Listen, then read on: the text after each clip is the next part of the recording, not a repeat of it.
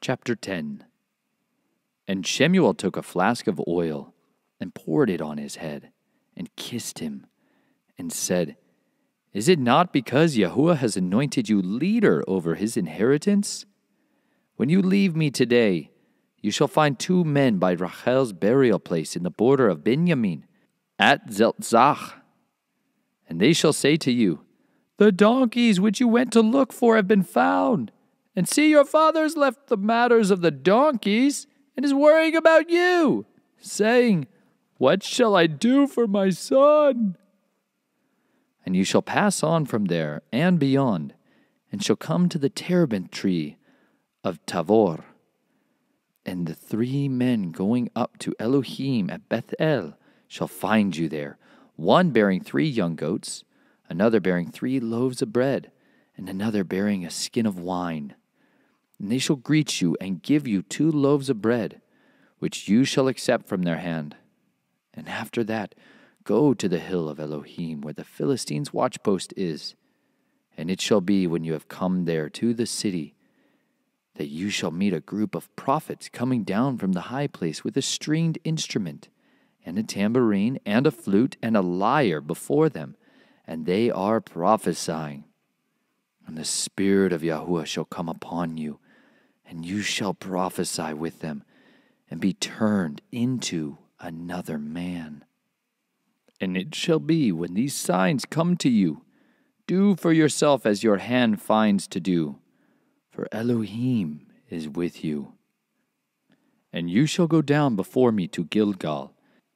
And see, I am coming down to you to offer ascending offerings and slaughter, slaughterings of peace offerings. Wait seven days till I come to you. Then I shall make known to you what you should do. And it came to be when he had turned his back to go from Shemuel that Elohim gave him another heart. And all those signs came on that day. And they came there to the hill and saw a group of prophets to meet him. And the Spirit of Elohim came upon him, and he prophesied in their midst. And it came to be all who knew him formerly looked and saw that he prophesied among the prophets. So the people said to each other, What is this that has come upon the son of Kish? Is Shaul also among the prophets? And a man there answered and said, And who is their father? That is why it became a proverb. Is Shaul also among the prophets? And when he stopped prophesying, he went to the high place. And the uncle of Shaul asked him and his servant, Where did you go? And he said, To look for the donkeys. And when we saw that they were nowhere to be found, we went to Shemuel. And the uncle of Shaul said, Please inform me what Shemuel said to you. And Shaul said to his uncle, He informed us plainly that the donkeys had been found. But he did not disclose to him about the matter of the reign, what Shemuel had said. And Shemuel called the people together to Yahuwah at Mitzpah, and said to the children of Israel, Thus said Yahuwah, the Elohim of Israel, I have brought Israel up out of Mitzrayim, and delivered you from the hand of the Mitzrites, and from the hand of all the reigns, from those who oppressed you. And today you have rejected your Elohim, who himself saved you out of all of your evils and your distresses. And you have said to him, No, but set a sovereign over us. And now present yourselves before Yahuwah by your tribes and by your clans. And Shemuel brought near all the tribes of Israel, and the tribe of Benjamin was taken. Then he brought near the tribe of Benjamin by their clans, and the clan of Matri was taken. And Shaul, son of Kish, was taken. And when they sought him, he could not be found.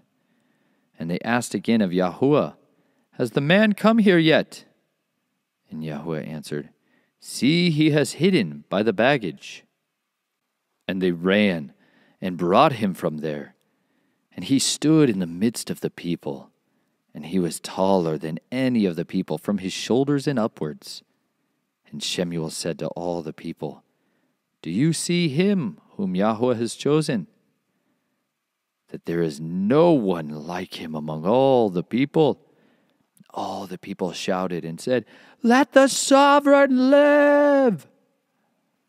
And Shemuel declared to the people the rulings of the reign, and wrote it in a book, and placed it before Yahuwah. And Shemuel sent all the people away, each to his house. And Shemuel went to his house too, to Gibeah, and with him went brave men whose hearts Elohim had touched. But the sons of Belial said, What? Does this one save us? And they despised him and brought him no presents. But he kept silent. Chapter 11 And Nahash the Ammonite came up and camped against Yabesh Gilead. And all the men of Yabesh said to Nahash, Make a covenant with us, and we shall serve you. Then Nahash the Ammonite answered them, For this I make a covenant with you, that I dig out all your right eyes, and I shall bring reproach on all Yisrael. And the elders of Yabesh said to him, Leave us alone for seven days, so that we send messengers to all the borders of Israel and then, if there's no one to save us, we shall come out to you. And the messengers came out to Gibeah of Shaul and spoke the words in the hearing of the people. And the people lifted up their voices and wept. And look, Shaul was coming behind the herd from the field. And Shaul said, Why are the people weeping? And they related to him the words of the men of Yabesh. And the Spirit of Elohim came upon Shaul mightily as he heard these words, and his displeasure burned greatly. Then he took a yoke of cattle and cut them in pieces and sent them throughout all the border of Israel by the hand of messengers, saying, Whoever does not go out with Shaul and Shemuel to battle, let this be done to his cattle. And the fear of Yahuwah fell on the people, and they came out as one man. And he mustered them in Bezek, and the children of Israel were three hundred thousand, and the men of Yehuda thirty thousand. And they said to the messengers who came, Say this to the men of Yabesh Gilead Tomorrow, by the time the sun is hot, you shall have help. Then the messengers came and informed the men of Yabesh, and they rejoiced.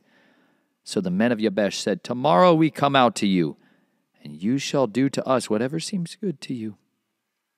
And it came to be on the next day that Shaul put the people in three companies in the morning watch and struck Ammon until the heat of the day. And it came to be that those left were scattered, so that no two of them were left together. And the people said to Shemuel, Who said, Shall Shaul reign over us? Bring the men so that we put them to death. But Shaul said, No man is to put to death this day, for today Yahuwah has wrought deliverance in Israel. And Shemuel said to the people, Come, and let us go to Gilgal and renew the reign there. And all the people went to Gilgal, and there they set up Shaul to reign before Yahuwah in Gilgal. There they slaughtered slaughterings of peace offerings before Yahuwah. And there Shaul rejoiced, and all the men of Israel very greatly. Chapter 12 And Shemuel said to all Israel, Look, I have listened to your voice in all that you said to me, and have set a sovereign over you and now, look, the sovereign is walking before you, and I am old and gray. And look, my sons are with you, and I have walked before you from my youth to this day. Look, here I am. Witness against me before Yahuwah and before his anointed. Whose ox have I taken?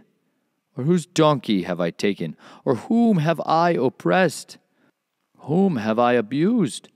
Or from whose hand have I received any bribe with which to blind my eyes? Then I restore it to you. And they said, You have not oppressed us or abused us, nor have you taken any bribe from anyone's hand. So he said to them, Yahuwah is witness against you, and his anointed is witness today, that you have found naught in my hand. And they answered, He is witness. And Shemuel said to the people, It is Yahuwah who appointed Moshe and Aharon, and who brought your fathers up from the land of Mitzrayim. And now stand still, so that I judge you before Yahuwah concerning all the righteous acts of Yahuwah which he did to you and to your fathers. And when Yaakov had come to Mitzrayim, and your fathers cried out to Yahuwah, then Yahuwah sent Moshe and Aharon, who brought your fathers out of Mitzrayim, and made them dwell in this place. But they forgot Yahuwah, their Elohim. So he sold them into the hand of Sisera, commander of the army of Hatzor, and into the hand of the Philistines, and into the hand of the sovereign of Moab. And they fought against them. And they cried out to Yahuwah and said, We have sinned because we have forsaken Yahuwah and served the Baals and the Ashtaroth, and now deliver us from the hand of our enemies, and we serve you. And Yahuwah sent Yerubbabel and Bidan and Yiftah and Shemuel, and delivered you out of the hand of your enemies round about you, and you dwelt in safety. And when you saw that Nahash, sovereign of the children of Ammon, came against you, you said to me, No, but let a sovereign reign over us when Yahuwah your Elohim was your sovereign. And now here is the sovereign whom you have chosen and whom you have asked. And see, Yahuwah has set a sovereign over you.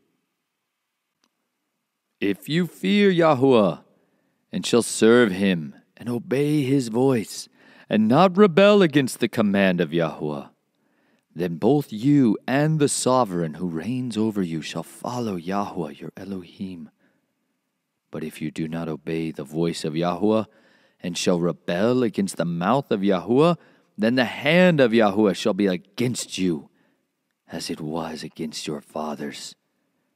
And now stand and see this great matter which Yahuwah does before your eyes. Is today not the wheat harvest? Let me call to Yahuwah so that he sends thunder and rain. Know then and see that your evil is great which you have done in the eyes of Yahuwah in asking for yourselves a sovereign. And Shemuel called to Yahuwah, and Yahuwah sent thunder and rain that day, and all the people greatly feared Yahuwah and Shemuel. Then all the people said to Shemuel, Pray for your servants to Yahuwah, your Elohim, that we do not die. For we have added to all our sins this evil of asking for ourselves a sovereign. And Shemuel said to the people, Do not fear. You have done all this evil. Only do not turn aside from following Yahuwah, and you shall serve Yahuwah with all your heart. And do not turn aside after worthless matters which do not profit or deliver, for they are worthless. For Yahuwah would not cast away his people for his great name's sake, seeing it has pleased Yahuwah to make you his people.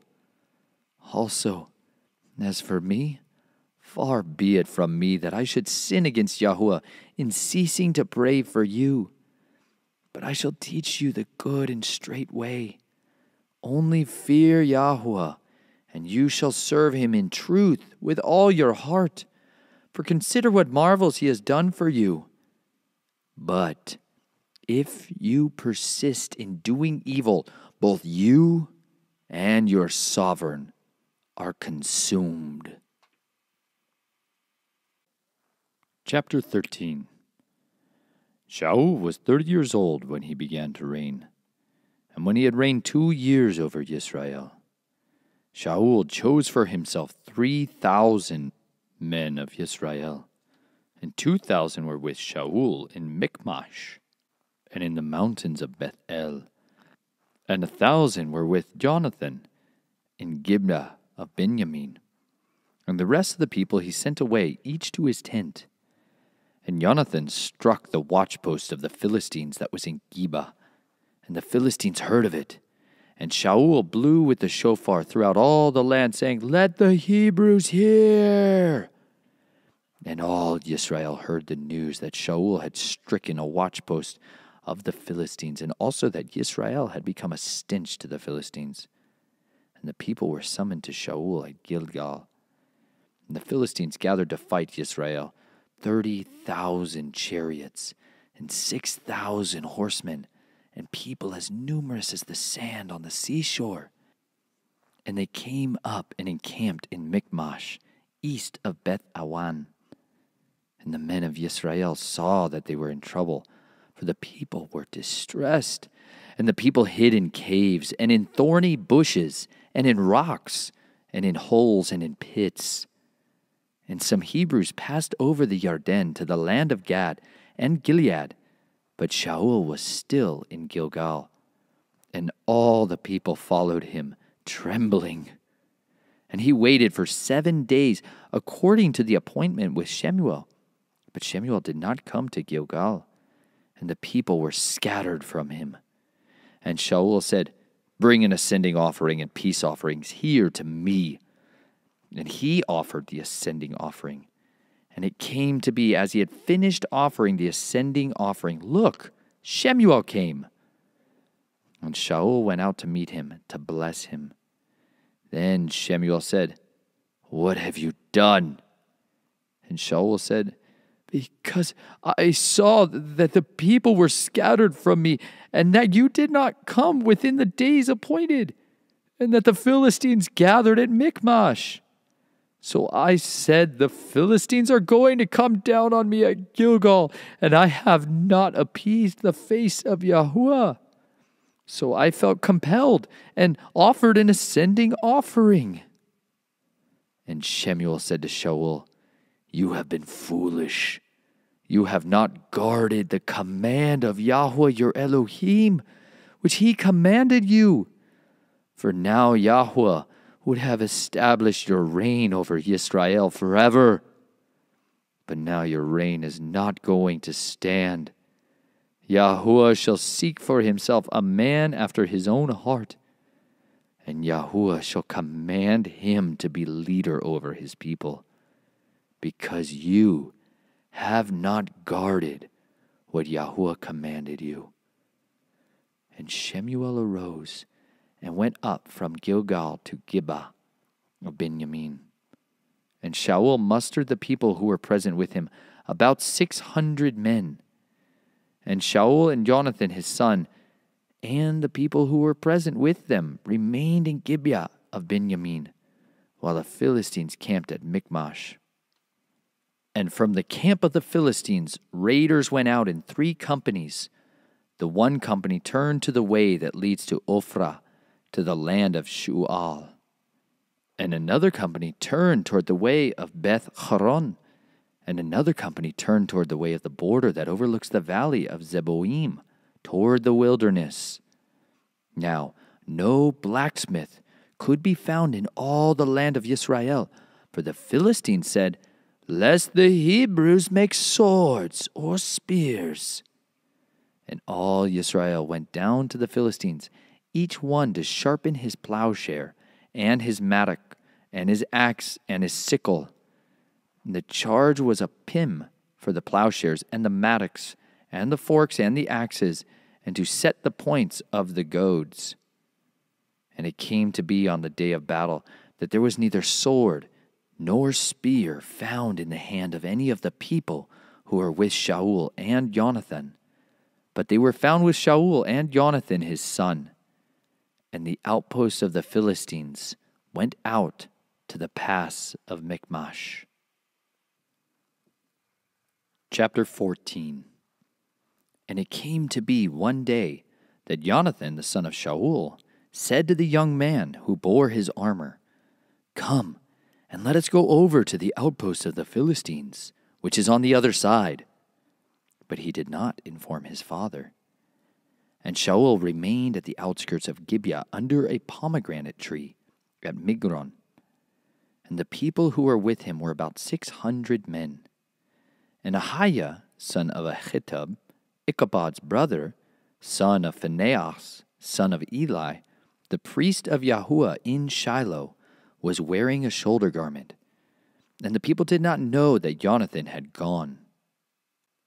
And between the passes by which Jonathan sought to go over to the outposts of the Philistines, there was an edge of a rock on one side, and an edge of a rock on the other side.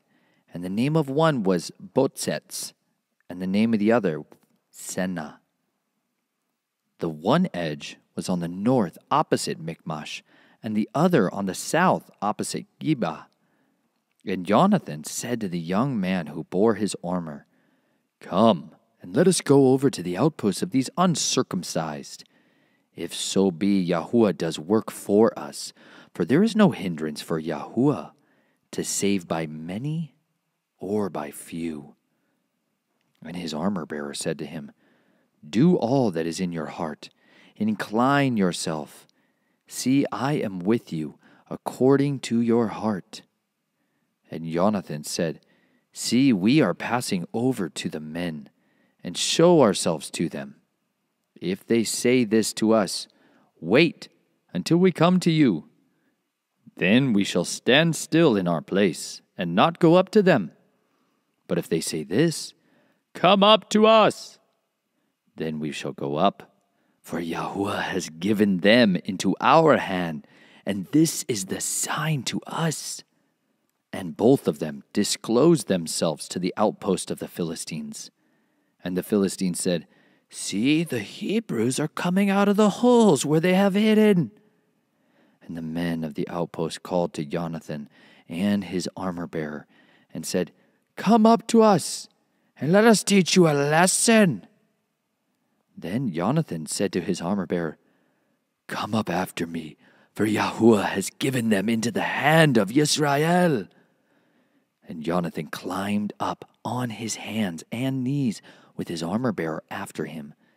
And they fell before Jonathan, and his armor bearer was putting them to death behind him.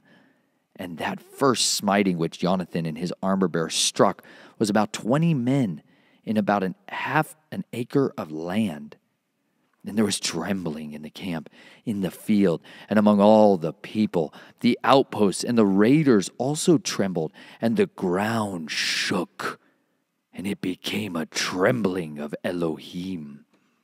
And the watchmen of Shaul and Gibeah of Benjamin looked and saw the crowd melting away. And they went here and there.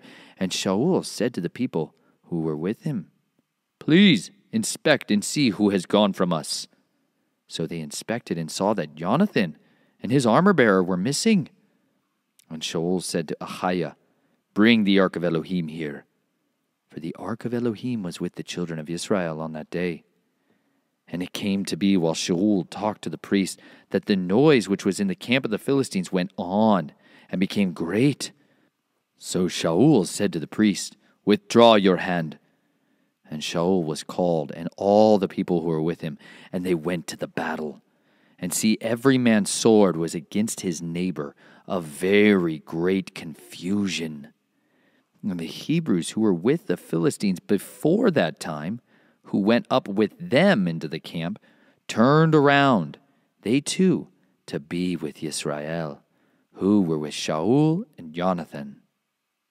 And all the men of Israel who had hidden in the mountains of Ephraim heard that the Philistines fled, and they also pursued them in the battle. Thus Yahuwah saved Israel that day. The battle passed over to Beth Awen.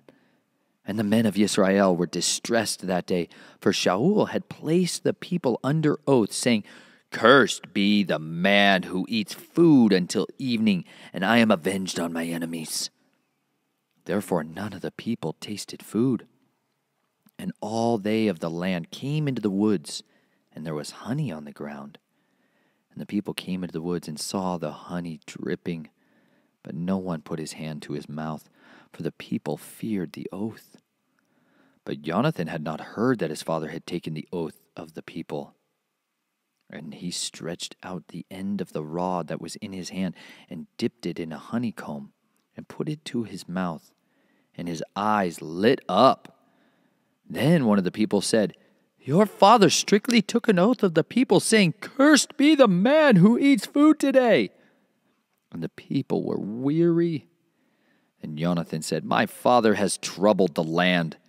Now see how my eyes lit up when I tasted a little of this honey. How much better if the people had well eaten today of the spoil of their enemies which they had found. For then would not the slaughter among the Philistines have been greater? And they struck the Philistines that day from Michmash to Ayalon. So the people were very weary. And the people pounced on the spoil and took sheep and cattle and calves and slew them on the ground. And the people ate with the blood. And they told Shaul, saying, Look, the people are sinning against Yahweh by eating with the blood. And he said, You have acted treacherously. Roll a large stone to me today. And Shaul said, Scatter among the people and say to them, Each one bring his ox near to me, and each one his sheep. And you shall slay them here and eat, and do not sin against Yahweh by eating with the blood. So every one of the people brought his ox with him that night and slew it there. And Shaul built a slaughter place to Yahuwah, and it was the first slaughter place he built to Yahuwah. And Shaul said, Let us go down after the Philistines by night, and plunder them until the morning light, and not leave a man of them. And they said, Do whatever seems good to you. But the priest said, Let us draw near to Elohim here. And Shaul asked of Elohim, should I go down after the Philistines? Do you give them into the hand of Israel? But he did not answer him that day. And Shaul said, Come over here, all you chiefs of the people, and know and see what this sin was today. For as Yahuwah lives, who saves Israel, though it be in Jonathan my son, he shall certainly die. But not one among all the people answered him. And he said to all Israel, you be on one side, and my son Jonathan and I be on the other side. And the people said to Shaul, Do what seems good to you. Then Shaul said to Yahweh Elohim of Israel, Give a perfect lot. And Shaul and Jonathan were taken, but the people escaped. And Shaul said, Cast lots between my son Jonathan and me. And Jonathan was taken. Shaul then said to Jonathan, Explain to me what you have done.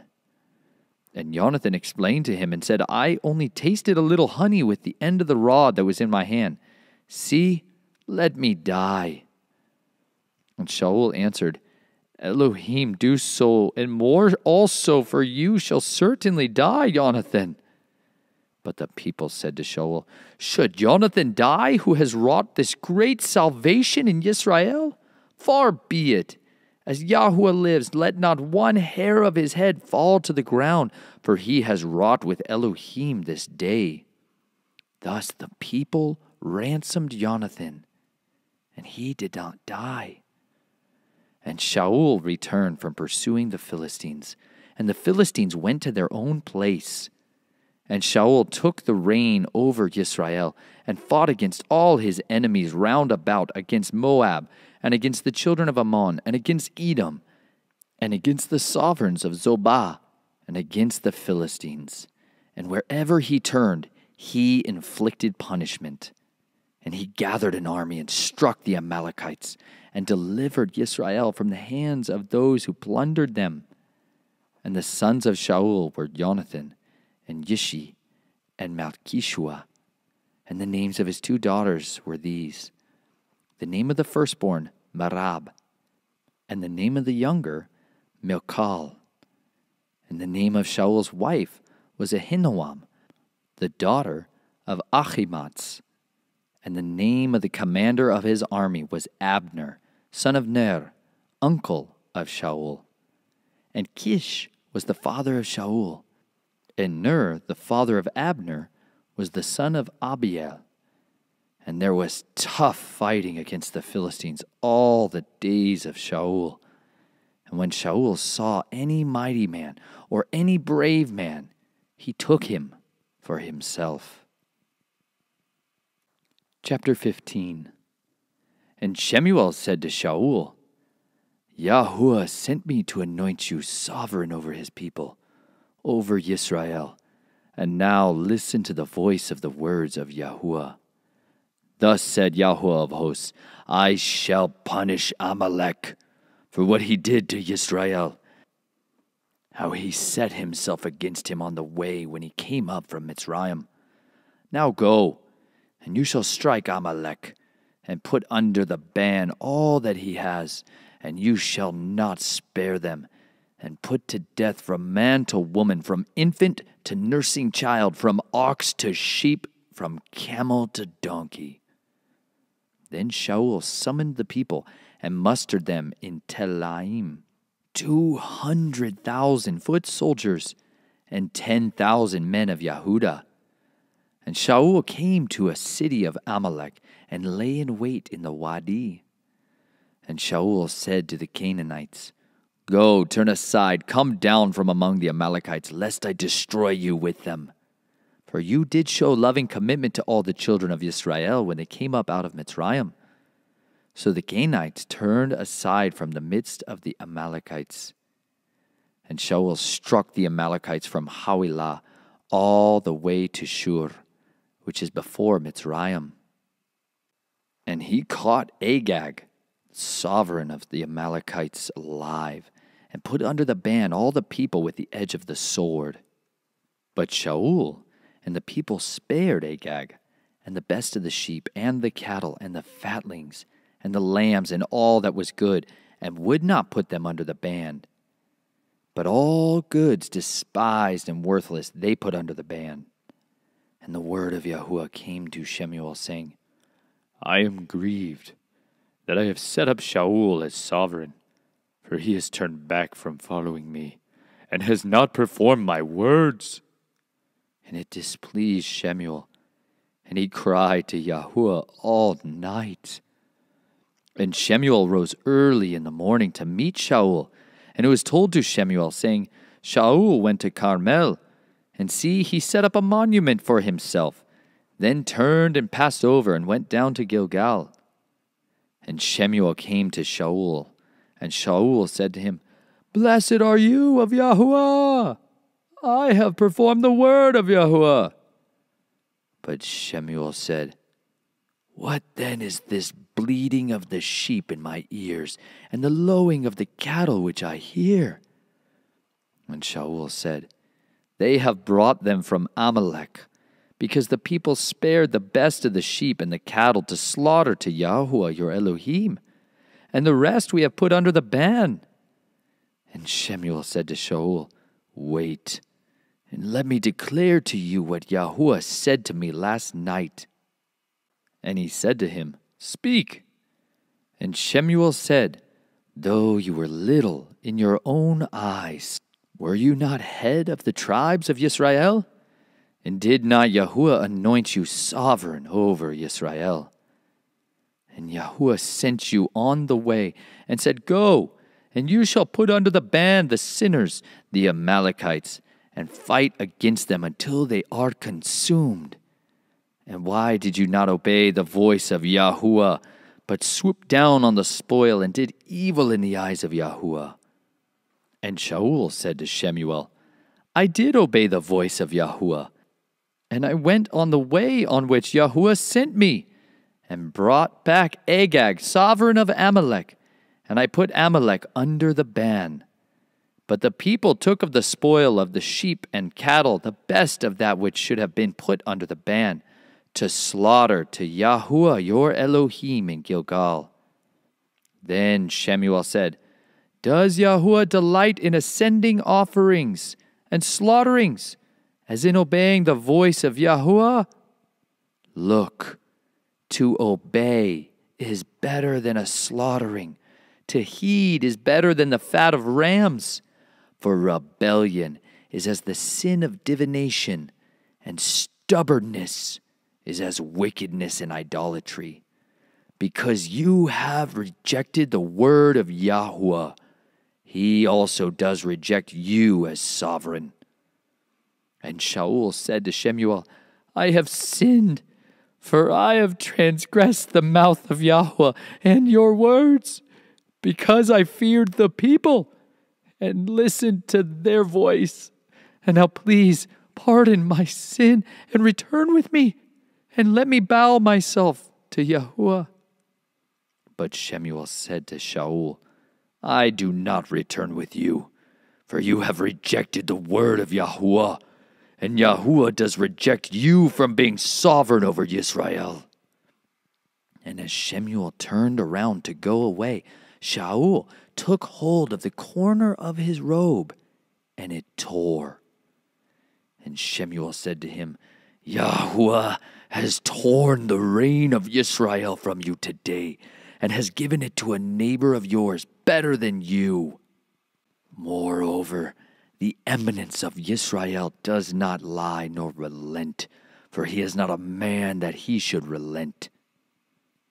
Then he said, I have sinned, but esteem me now, please, before the elders of my people and before Yisrael, and return with me, and I shall bow myself to Yahweh your Elohim. And Shemuel turned back after Shaul, and Shaul bowed himself to Yahuwah. And Shemuel said, Bring Agag, sovereign of the Amalekites, here to me. So Agag came to him delightedly. And Agag said, Truly, the bitterness of death has turned aside. And Shemuel said, As your sword bereaved women, let your mother be bereaved among women too. Shemuel then hewed Agag to pieces before Yahweh in Gilgal. And Shemuel went to Ramah, while Shaul went up to his house at Gibeah of Shaul. And Shemuel did not see Shaul again until the day of his death, for Shemuel mourned for Shaul. And Yahuwah was grieved that he had made Shaul to reign over Israel. Chapter 16 And Yahuwah said to Shemuel, How long are you going to mourn for Shaul, seeing I have rejected him from reigning over Israel? Fill your horn with oil and go. I am sending you to Yishai the Bethlehemite, for I have seen among his sons a sovereign for myself. And Shemuel said, How would I go? When Shaul hears it, he shall kill me. And Yahuwah said, Take a heifer with you, and say, I have come to slaughter to Yahuwah. And you shall invite Yishai to the slaughtering. Then let me show you what to do. And you shall anoint for me the one I say to you. And Shemuel did what Yahuwah said, and went to Bethlehem. And the elders of the town trembled at his coming, and said, do you come in peace? And he said, In peace I have come to slaughter to Yahweh. Set yourselves apart, and you shall come with me to the slaughtering. And he sent Yeshai and his sons apart, and invited them to the slaughtering. And it came to be when they came that he saw Eliab, and thought, The anointed of Yahweh is indeed before him. But Yahuwah said to Shemuel, do not look at his appearance or the height of his stature, because I have refused him. For not as a man sees, for man looks at the eyes, but Yahuwah looks at the heart. Then Yishai called Abinadab and made him pass before Shemuel. And he said, Neither has Yahuwah chosen this one. Next, Yeshai made Shammah pass by, and he said, Neither has Yahuwah chosen this one. And Yeshai made seven of his sons pass before Shemuel. And Shemuel said to Yeshai, Yahuwah has not chosen these. And Shemuel said to Yeshai, Are these all the young men? And he said, There remains yet the youngest, and see, he is tending the sheep. And Shemuel said to Yeshai, Send and bring him, for we do not turn round till he comes here. And he sent and brought him in, and he was ruddy, with bright eyes and handsome. And Yahuwah said, Arise, anoint him, for this is the one. And Shemuel took the horn of oil and anointed him in the midst of his brothers. And the Spirit of Yahuwah came upon David from that day and onwards. And Shemuel arose and went to Ramah. And the Spirit of Yahuwah turned aside from Shaul, and an evil spirit from Yahuwah troubled him. And the servants of Shaul said to him, Look, now an evil spirit from Elohim is troubling you. Please let our master command your servants who are before you to seek out a man who is a skilled player on the lyre. And it shall be that when the evil spirit from Elohim is upon you, that he shall play with his hand and you be well. And Shaul said to his servants, Please get me a man that plays well, and bring him to me. And one of the servants answered and said, Look, I have seen a son of Yeshai, the Bethlehemite, who knows how to play, a brave one, and a man of battle, and skilled in words, and a handsome man. And Yahuwah is with him. So Shaul sent messengers to Yeshai and said, Send me your son David, who is with the sheep. And Yeshai took a donkey loaded with bread, and a skin of wine, and a young goat and sent them by his son David to Shaul. And David came to Shaul and stood before him, and he loved him greatly, and he became his armor bearer. Shaul therefore sent to Yeshai, saying, Please, let David stand before me, for he has found favor in my eyes. And it came to be, whenever the evil spirit from Elohim was upon Shaul, that David would take a lyre and play it with his hand. Then Shaul would become refreshed and well, and the evil spirit would leave him. Chapter 17 And the Philistines had gathered their armies for battle, and came together at Sochah, which belongs to Yehudah, and encamped between Sochah and Azekah in Ephes Damim. And Shaul and the men of Israel gathered and encamped in the valley of Elah, and drew up in battle array to meet the Philistines. And the Philistines stood on a mountain on one side, and Israel stood on a mountain on the other side, with the valley between them. Then a champion came out from the camp of the Philistines, named Goliath from Gath, whose height was six cubits and a span and a bronze helmet was on his head. And he was armed with a scaled armor, and the weight of the coat was five thousand shekels of bronze, and bronze shin guards on his legs, and a bronze spear between his shoulders.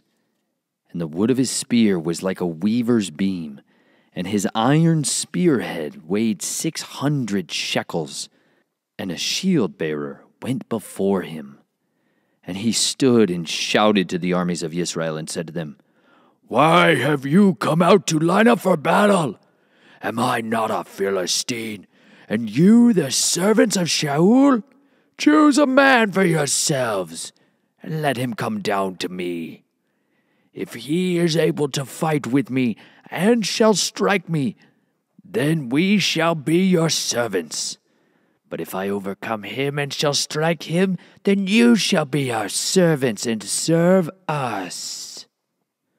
Then the Philistine said, This day I shall reproach the armies of Israel.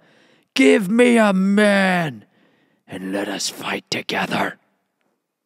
And Shaul and all Israel heard these words of the Philistine, and they were broken down and in great fear. Now David was the son of that Ephrathite of Bethlehem in Yehudah, whose name was Yishai, and he had eight sons. And in the days of Shaul the man was old among men. And the three oldest sons of Yishai went. They had gone to follow Shaul to the battle. And the names of his three sons who went to battle were Eliab, the firstborn, and his second, Abinadab, and the third, Shammah. And David was the youngest, and the three oldest followed Shaul. But David went and returned from Shaul to feed his father's sheep at Bethlehem. And for forty days the Philistine drew near morning and evening and took his stand. Then Yishai said to his son David, Please take your brothers an ephah of this dried grain and these ten loaves and run to your brothers at the camp. And take these ten cheeses to the commander of the thousand and see how your brothers are and bring back news of them. For Shaul and they and all the men of Israel were in the valley of Elah, fighting with the Philistines. And David rose up early in the morning, and left the sheep with a herdsman, and took and went as Yishai had commanded him. And he came to the camp as the army was going out to the fight, and they shouted for the battle. And Israel and the Philistines drew up in battle array, army against army. And David left his supplies in the hand of the keeper of the supplies, and ran to the army, and came and greeted his brothers.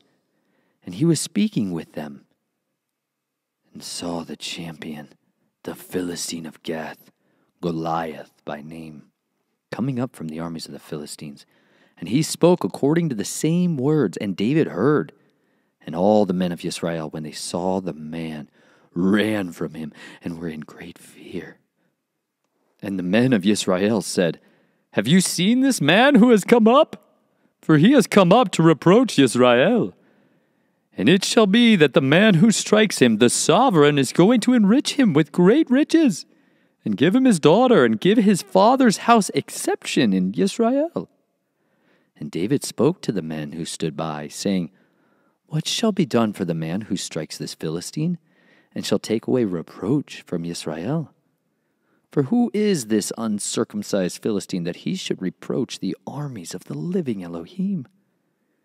And the people answered him according to this word, saying, This is what is done for the man who strikes him. And Eliab, his oldest brother, heard when he spoke to the men.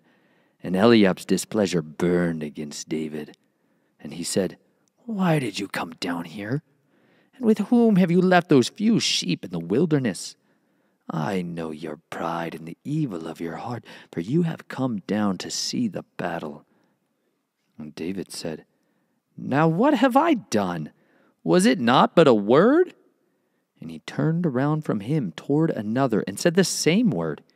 And these people answered him a word like the first word. And when the words which David spoke were heard, they reported them to Shaul, and he sent for him. And David said to Shaul, let no man's heart fail because of him. Your servant is going, and shall fight with this Philistine. And Shaul said to David, You are not able to go against this Philistine to fight with him, for you are but a youth, and he a man of battle from his youth. Then David said to Shaul, Your servant has been tending sheep for his father, and when a lion or a bear came and took a lamb out of the flock, I went after it and struck it and rescued it from its mouth. And when it rose against me, I took hold of it by its beard and struck it and killed it. Your servant has stricken both lion and bear, and this uncircumcised Philistine shall be like one of them, seeing he has reproached the armies of the living Elohim. And David said, Yahuwah, who delivered me from the paw of the lion and from the paw of the bear, he does deliver me from the hand of this Philistine. And Shaul said to David, Go, and Yahuwah be with you.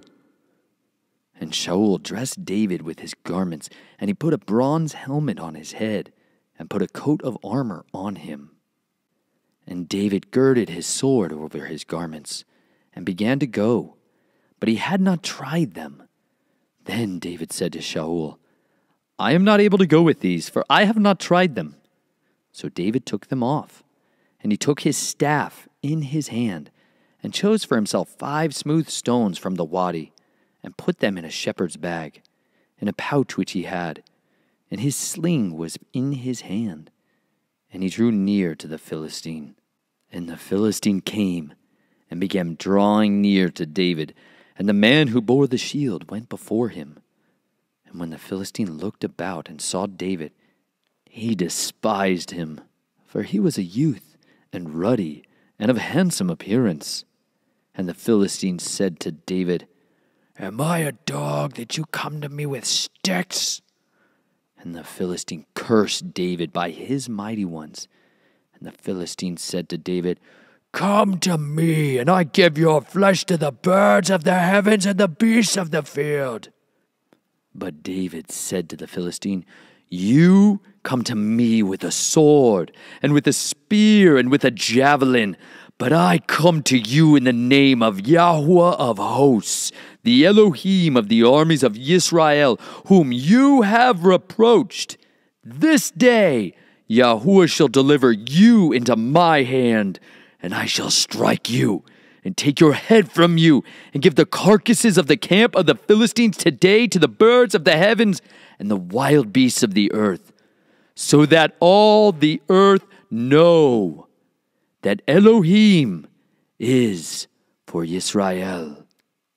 And all this assembly know that Yahuwah does not save with sword and spear, for the battle belongs to Yahuwah, and he shall give you into our hands. And it came to be when the Philistine arose and came and drew near to meet David, that David hurried and ran toward the army to meet the Philistine. And David put his hand in his bag and took out a stone and slung it and struck the Philistine on his forehead, so that the stone sank into his forehead, and he fell on his face to the ground. Thus David was stronger than the Philistine with a sling and a stone, and struck the Philistine and killed him. And there was no sword in the hand of David. Then David ran and stood over the Philistine, and took his sword, and drew it out of its sheath, and killed him, and cut off his head with it. And when the Philistines saw that their champion was dead, they fled. And the men of Israel and Yehuda arose and shouted and pursued the Philistine as far as the entrance of the valley and to the gates of Ekron. And the wounded of the Philistine fell along the way to Sha'arim, even as far as Gath and Ekron. Then the children of Israel turned back from chasing the Philistines, and they plundered their camps. And David took the head of the Philistine and brought it to Jerusalem and he put his weapons in his tent. And when Shaul saw David going out against the Philistine, he said to Abner, the commander of the army, Abner, whose son is this youth? And Abner said, As your being lives, O sovereign, I do not know. And the sovereign said, Ask whose son this young man is.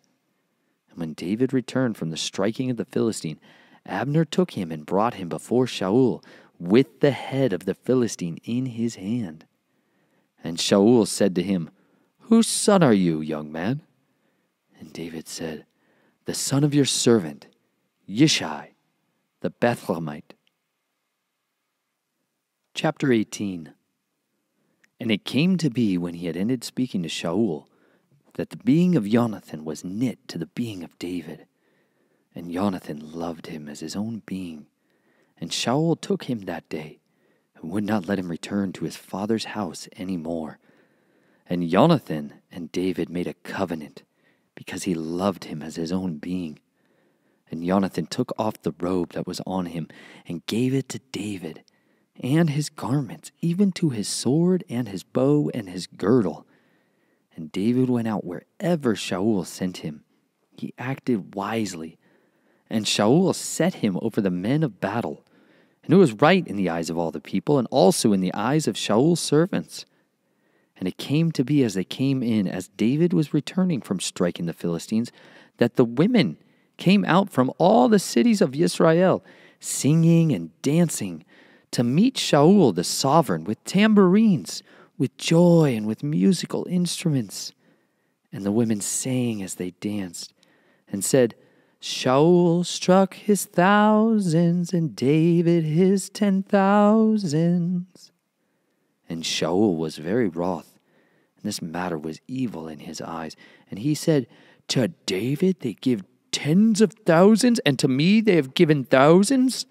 So what more for him except the reign? And from that day on, Shaul eyed David. And it came to be on the next day that an evil spirit from Elohim came upon Shaul, and he prophesied inside the house. While David was playing the lyre with his hand as usual, and the spear was in the hand of Shaul. Then Shaul hurled the spear, for he said, Let me strike twice David, even to the wall. But twice David withdrew from his presence, and Shaul was afraid of David, because Yahuwah was with him. But from Shaul he had turned away. Shaul therefore removed from him his presence, and made him his commander over a thousand. And he went out and came in before the people. And David was acting wisely in all his ways, and Yahuwah was with him. And Shaul saw that he was acting very wisely and was afraid of him. But all Israel and Yehuda loved David as he went out and came in before them. And Shaul said to David, See my older daughter, Merab. I give her to you as a wife. Only be brave for me and fight the battles of Yahuwah. For Shaul thought, Let not my hand be against him, but let the hand of the Philistines be against him. And David said to Shaul, Who am I? And what is my life or my father's clan in Israel that I should be son in law to the sovereign? And it came to be at the time when Merab, Shaul's daughter, should have been given to David, that she was given to Adriel, the Maholathite, as a wife. And Michal, Shaul's daughter, loved David. And they told Shaul, and the matter was right in his eyes. And Shaul said, let me give her to him, and let her be a snare to him, and the hand of the Philistine be against him. So Shaul said to David a second time, Become my son in law today. And Shaul commanded his servants, Speak to David gently, and say, See, the sovereign has delighted in you, and all his servants have loved you. And now be the sovereign's son in law. And the servants of Shaul spoke these words in the hearing of David. And David said, Does it seem to you a small matter to be a sovereign's son in law, seeing I am a poor man and lightly esteemed? And the servants of Shaul told him, saying, David has spoken according to these words. And Shaul said, Say to David, The sovereign has no delight in any payment for the bride, but one hundred foreskins of the Philistines to be avenged on the sovereign's enemies. But Shaul intended to have David fall by the hand of the Philistines. And his servants declared these words to David, and it pleased David well to become the sovereign's son in law, and the days had not expired. And David arose and went, he and his men, and struck two hundred men of the Philistines. And David brought their foreskins, and they set them before the sovereign to become the sovereign's son in law. And Shaul gave him Michal, his daughter, as a wife. And Shaul saw and knew that Yahuwah was with David. And Michal, daughter of Shaul, did love him. So then Shaul was still more afraid of David. And Shaul came to be an enemy of David all the days. And the princes of the Philistines went out to fight. And it came to be, whenever they went out, that David acted more wisely than all the servants of Shaul so that his name came to be very precious. Chapter 19 And Shaul spoke to Jonathan his son and to all his servants to put David to death. But Jonathan, Shaul's son, delighted much in David. And Jonathan declared to David, saying, My father Shaul seeks to put you to death. And now please be on your guard until morning and dwell in secrecy and hide. And I myself shall go out and stand beside my father in the field where you are, and speak with my father about you, and shall see and shall let you know. And Jonathan spoke well of David to Shaul his father, and said to him, Let not the sovereign sin against his servant against David, because he has not sinned against you, and because his works have been very good toward you. For he took his life in his hands and struck the Philistine, and Yahuwah wrought a great deliverance for all Israel. You saw it and rejoiced. Why then do you sin against innocent blood to put David to death without cause?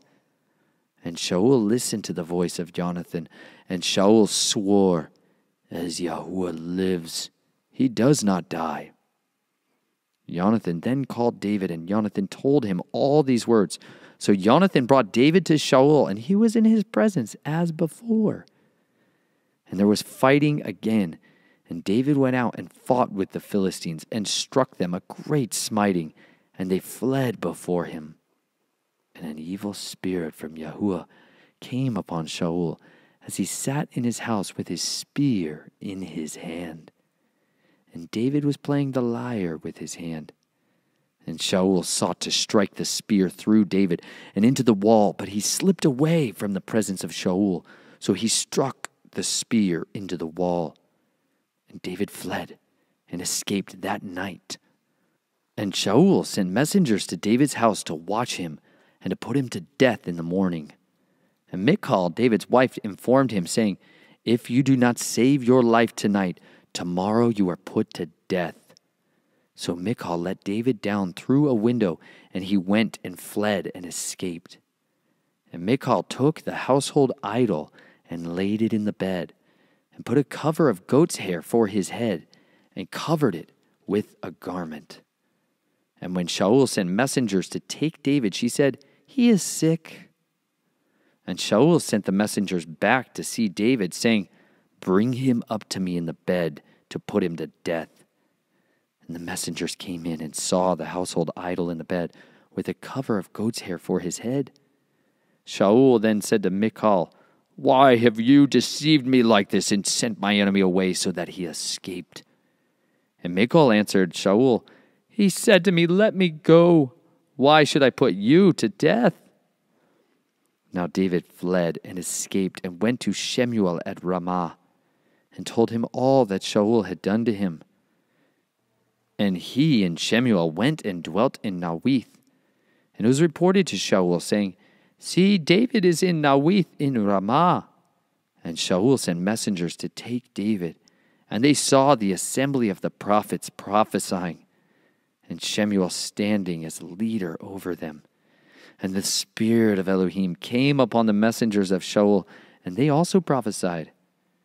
And when Shaul was told, he sent other messengers, and they prophesied likewise.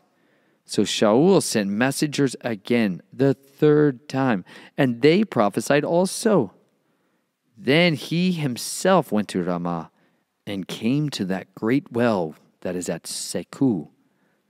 And he asked and said, Where are Shemuel and David? And one said, They're in Nawith in Ramah. So he went there to Nawith in Ramah, and the Spirit of Elohim was upon him too. And he went on and prophesied until he came to Nawith in Ramah. And he also stripped off his garments and prophesied before Shemuel, and lay down naked all that day and all that night. Therefore they say, Is Shaul also among the prophets? Chapter 20 And David fled from Nawith in Ramah and went and said to Jonathan, What have I done? What is my crookedness and what is my sin before your father that he seeks my life? And Jonathan said to it, Far be it, you are not going to die. See, my father does no big matter nor small matter without disclosing it to me. And why should my father hide this matter from me? It is not so. But David swore again and said, Your father knows well that I have found favor in your eyes. And he says, Do not let Jonathan know this, lest he be grieved. But truly, as Yahuwah lives, and as your being lives, there is but a step between me and death. And Jonathan said to David, Whatever your desire is, I do it for you. And David said to Jonathan, See, tomorrow is the new moon, and I ought to sit with the sovereign to eat. But let me go, and I shall hide in the field until the third day at evening. If your father misses me at all, then you shall say, David earnestly asked my permission to run over to Bethlehem, his city, for a yearly slaughtering is made there for all the clan. If he says thus, It is well, your servant is safe. But if he is very displeased, then know that he is resolved to do evil. And you shall show loving commitment to your servant, for you have brought your servant into a covenant of Yahuwah with you. And if there is crookedness in me, put me to death yourself, for why should you bring me to your father? And Jonathan said, Far be it from you. For if I knew with certainty that my father has resolved that evil is to come upon you, then would I not make it known to you? And David said to Jonathan, Who would make it known to me? Or what if your father answers you sharply? And Jonathan said to David, Come, and let us go out into the field. They both went out into the field, and Jonathan said to David, Yahuwah Elohim of Israel be witness, when I search out my father sometime tomorrow, or the third day, and see if there is good toward David, and I do not send to you or disclose it to you. So let Yahuwah do so and much more to Jonathan.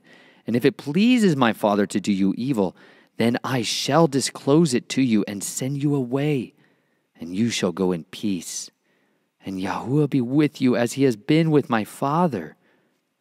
But show me the loving commitment of Yahuwah, not only while I still live, so that I do not die. And do not cut off your loving commitment from my house forever. No, not when Yahuwah has cut off every one of the enemies of David from the face of the earth. And Jonathan made a covenant with the house of David, saying, Yahuwah shall require it at the hand of the enemies of David. And Jonathan again made David swear because he loved him, for he loved him as he loved his own being. So Jonathan said to him, Tomorrow is the new moon, and you shall be missed, because your seat shall be empty. And on the third day, go down quickly, and you shall come to the place where you hid on the day of the deed, and shall remain by the stone Etzel. And let me shoot three arrows to the side of it, as though shooting at a target. And see, I shall send the youth, saying, Go find the arrows. If I expressly say to the youth, Look, the arrows are on this side of you. Get them and come. Then, as Yahuwah lives, there is safety for you and no concern. But if I say thus to the youth, Look, the arrows are beyond you, go your way, for Yahuwah has sent you away. And as for the word which you and I have spoken of, see, Yahuwah is between you and me forever. And David hid in the field. And when the new moon came, the sovereign sat down by the food to eat. And the sovereign sat on his seat, as at other times, on a seat by the wall, with Jonathan standing, and Abner sitting by Shaul's side. But the place of David was empty. But Shaul spoke not a word that day, for he thought, It is an accident. He is not clean, for he has not been cleansed. And it came to be on the next day, the second day of the new moon, that David's place was empty. And Shaul said to Jonathan his son, Why has the son of Yeshai not come to eat, either yesterday or today? And Jonathan answered Shaul, David earnestly asked my permission to go to Bethlehem. And he said, Please let me go, for our clan has a slaughtering in the city, and my brother has commanded me to be there. And now, if I found favor in your eyes, please let me get away and see my brothers. That is why he has not come to the sovereign's table. Then the displeasure of Shaul burned against Jonathan, and he said to him, You son of a perverse, rebellious woman! Do I not know that you have chosen the son of Yeshai to your own shame and to the shame of your mother's nakedness? For as long as the son of Yeshai lives on the earth, you shall not be established, you and your reign. And now Send and bring him to me, for he is a son of death. And Jonathan answered Shaul his father and said, Why should he be put to death? What has he done? At that, Shaul hurled a spear at him to smite him. Then Jonathan knew that his father had resolved to put David to death.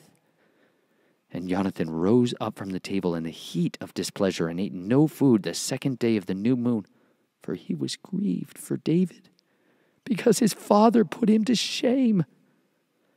And it came to be in the morning that Jonathan went out into the field at the time appointed with David, and a small youth was with him.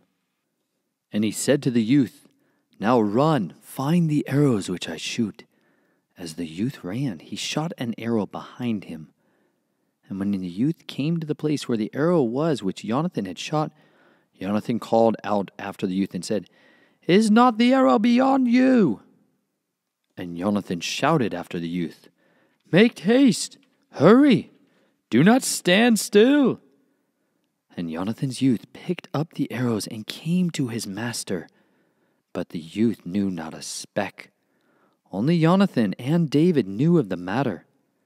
Then Jonathan gave his weapons to the youth and said to him, Go, take them to the city. And as soon as the youth had gone, David rose up from the south side and fell on his face to the ground and bowed down three times. And they kissed one another and they wept together. But David more so. And Jonathan said to David, Go in peace, since we have both sworn in the name of Yahuwah, saying, Yahuwah is between you and me, and between your seed and my seed forever. Then he arose and left, and Jonathan went into the city. Chapter 21 And David came to Nob, to Ahimelech the priest. And Ahimelech trembled when he met David, and asked him, Why are you alone, and no one is with you? And David said to Ahimelech the priest, The sovereign has commanded me a word, and said to me, Let no one know whatever the word about which I send you, which I have commanded you. And I have directed my young men to such and such a place. And now, what do you have on hand? Give five loaves into my hand, or whatever is found. And the priest answered David and said, There is no ordinary bread on hand, but there is set apart bread, provided the young men have kept themselves from women. And David answered the priest and said to him, Truly, women have been kept from us for about three days since I came out, and the vessels of the young men are set apart. And it is an ordinary mission, and also it was set apart in the vessel today. Then the priest gave him set apart bread, for there was no bread there except the showbread which had been taken from before Yahuwah, in order to put hot bread in on the day it is taken away. Now one of the servants of Shaul was there that day, detained before Yahuwah, and his name was Doeg, an Edomite, the chief of the herdsmen who belonged to Shaul. And David said to Ahimelech, Is there not here on hand a spear or a sword? For I have brought neither my sword nor my weapons with me, because the matter of the sovereign was urgent. And the priest said, The sword of Goliath the Philistine, whom you struck in the valley of Elah. See, it is wrapped in a garment, behind the shoulder garment. If you would take it, take it, for there is none other except this one here. And David said, There is none like it. Give it to me. And David rose and fled that day from before Shaul and went to Achish, the sovereign of Gath. But the servants of Achish said to him, Is this not David, the sovereign of the land? Did they not sing of him to each other in dances, saying, Shaul struck his thousands, and David his ten thousands? And David took these words to heart, and was very much afraid of Achish, the sovereign of Gath, and changed his behavior before them, and feigned madness in their hands, and scratched on the doors of the gate, and let his saliva run down on his beard. Then Achish said to his servants, Look, you see the man is acting like a madman. Why do you bring him to me? Am I short of madmen that you have brought this one to act as a madman near me? Should this one come into my house? Chapter 22 And David went from there and escaped to the cave of Adullam. And his brothers and all his father's house heard it and went down to him there. And everyone who was in distress, everyone who was in debt, and everyone bitter in being gathered to him. So he became head over them. And there were about four hundred men with him. And David went from there to Mizpah of Moab and said to the sovereign of Moab, Please let my father and mother come here with you till I know what Elohim does for me. And he left them with the sovereign of Moab, and they dwelt with him all the time that David was in the stronghold. And the prophet Gad said to David, Do not remain in the stronghold. Leave and go to the land of Yehudah. So David left there and went into the Hereth woods. And Shaul heard that David and the men who were with him had been discovered, while Shaul was in Geba, sitting under a tamarisk tree in Ramah, with his spear in his hand and all his servants standing about him. And Shaul said to his servants, who were standing around him, Hear now, you Benjamites! Does the son of Yishai give every one of you fields and vineyards, and make you all commanders of thousands and commanders of hundreds? For all of you have conspired against me, and there is no one who reveals to me that my son has made a covenant with the son of Yishai. And there is not one of you who is grieved for me or reveals to me that my son has stirred up my servant against me to lie in wait as it is this day. And Doeg the Edomite, who was set over the servants of Shaul, answered and said, I saw the son of Yeshai going to Nob to Ahimelech, son of Ahitub. And he inquired of Yahuwah for him, gave him food, and gave him the sword of Goliath, the Philistine. And the sovereign sent someone to call Ahimelech the priest, son of Ahitub, and all his father's house, the priests who were in Nob, and they all came to the sovereign. And Shaul said, Hear now, son of Ahitub. And he answered, Here I am, my master. And Shaul said to him, Why have you conspired against me, you and the son of Yeshai, by giving him bread and a sword, and have inquired of Elohim for him to rise against me, to lie in wait as it is this day? And Ahimelech answered the sovereign and said, And who among all your servants is so trustworthy as David, who is the sovereign's son in law, and has turned aside to your counsel, and is esteemed in your house? Have I today begun to inquire of Elohim for him? Far be it from me. Let not the sovereign lay a case against his servant, or against any in the house of my father, for your servant knew not at all of this, little or much. And the sovereign said, You shall certainly die. Ahimelech, you and all your father's house. And the sovereign then said to the guards who stood about him, Turn and put the priests of Yahuwah to death, because their hand also is with David, and because they knew when he fled and did not reveal it to me. But the servants of the sovereign would not lift their hands to come against the priests of Yahuwah. And the sovereign said to Doeg, You turn and come against the priests. So Doeg the Edomite turned and came against the priests and put to death on that day eighty five men who wore a linen shoulder garment. And he struck Nob, the city of the priests, with the edge of the sword, from men even to women, from children even to nursing infants, and oxen and donkeys and sheep with the edge of the sword. And one of the sons of Ahimelech, son of Ahitub, named Abiathar, escaped and fled after David. Then Abiathar reported to David that Shaul had killed the priests of Yahuwah. And David said to Abiathar, I knew that day when Doeg the Edomite was there that he would certainly inform Shaul. I am accountable for all the lives of your father's house. Remain with me. Do not fear, for he who seeks my life seeks your life. But with me, you are safe.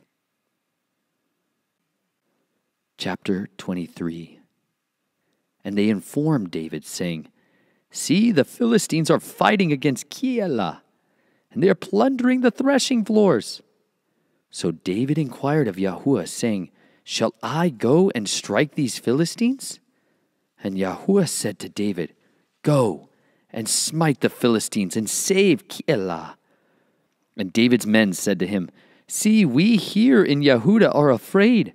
How much more then if we go to Keilah against the armies of the Philistines? And David inquired of Yahuwah once again. And David answered him and said, Arise, go down to Keilah, for I am giving the Philistines into your hand. So David and his men went to Keilah and fought with the Philistines. And he led away their livestock and struck them, a great smiting. Thus David saved the inhabitants of Keilah. And it came to be when Abiathar, son of Ahimelech, fled to David at Keilah, that he went down with the shoulder garment in his hand. And Shaul was informed that David had gone to Keilah. Then Shaul said, Elohim has estranged him into my hand, for he has shut himself in by entering a town that has gates and bars. And Shaul summoned all the people to battle, to go down to Keilah to besiege David and his men. And David knew that Shaul was plotting evil against him, and said to Abiathar the priest, Bring the shoulder garment here. And David said, O Yahuwah, Elohim of Israel, your servant has heard for certain that Shaul seeks to come to Keilah to destroy the city for my sake. Are the landowners of Keilah going to surrender me into his hand? Is Shaul coming down as your servant has heard?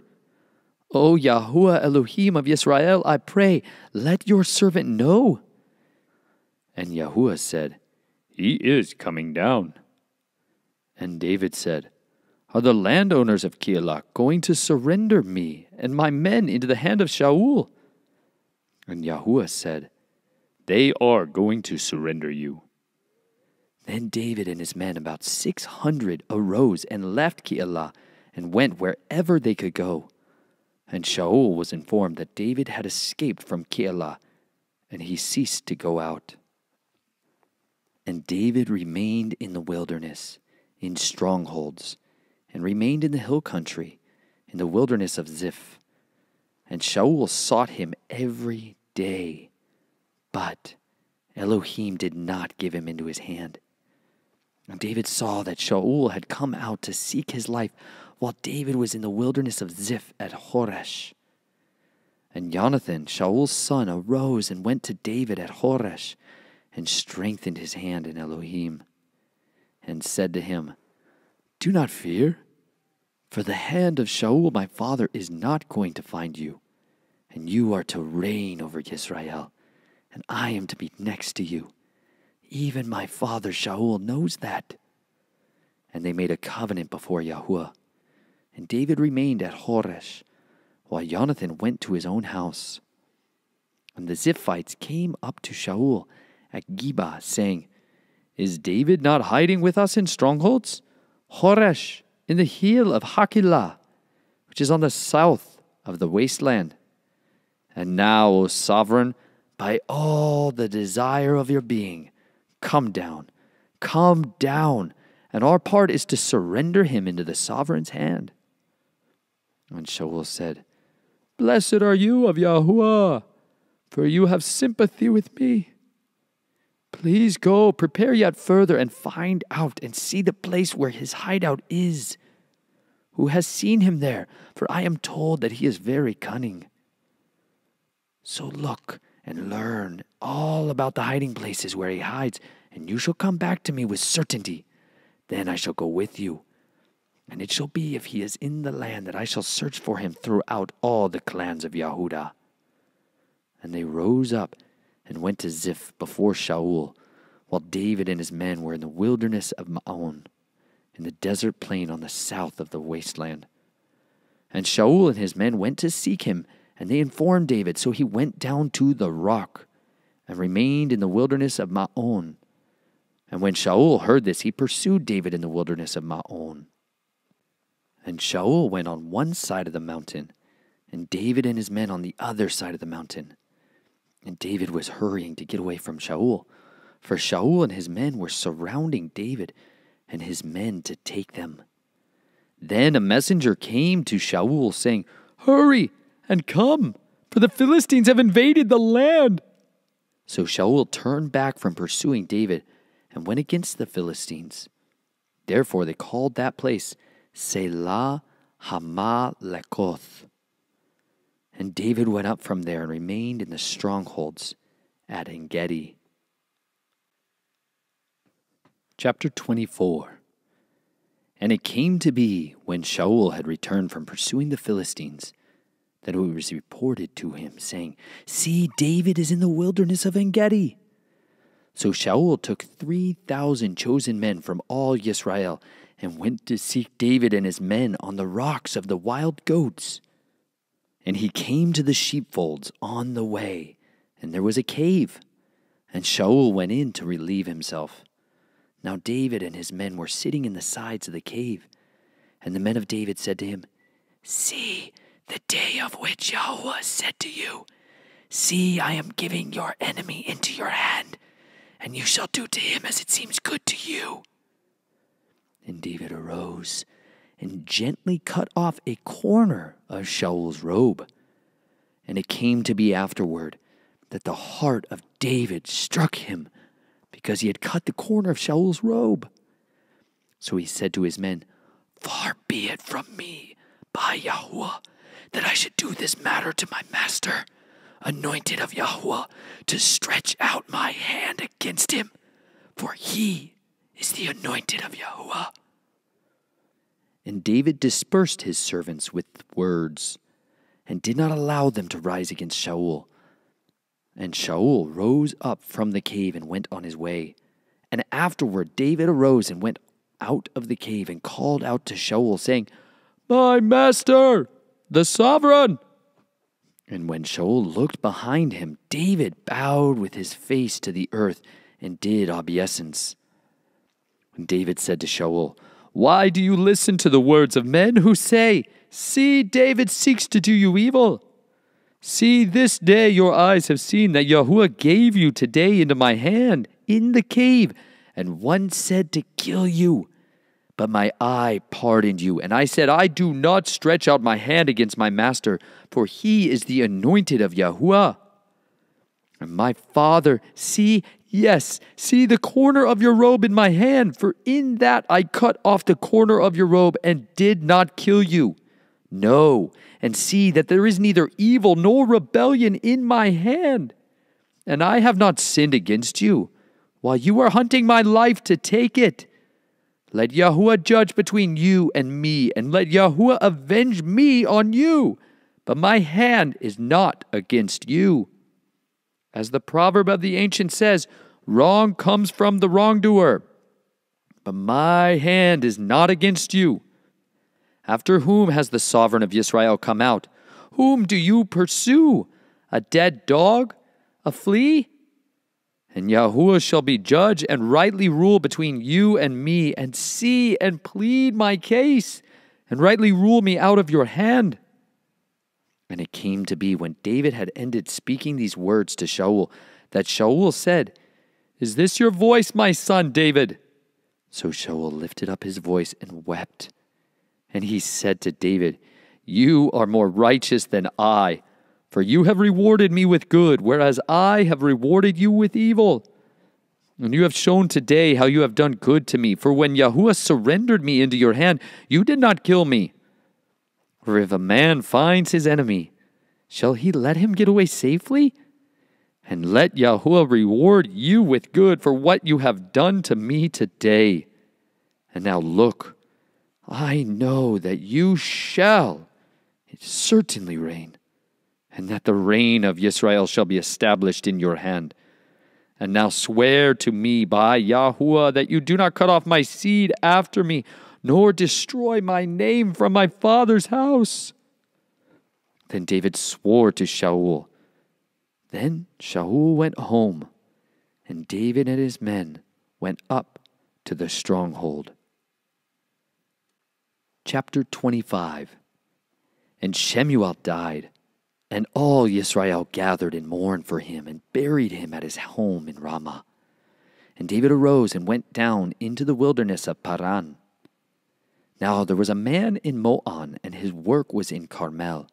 And the man was very great, and he had three thousand sheep and a thousand goats.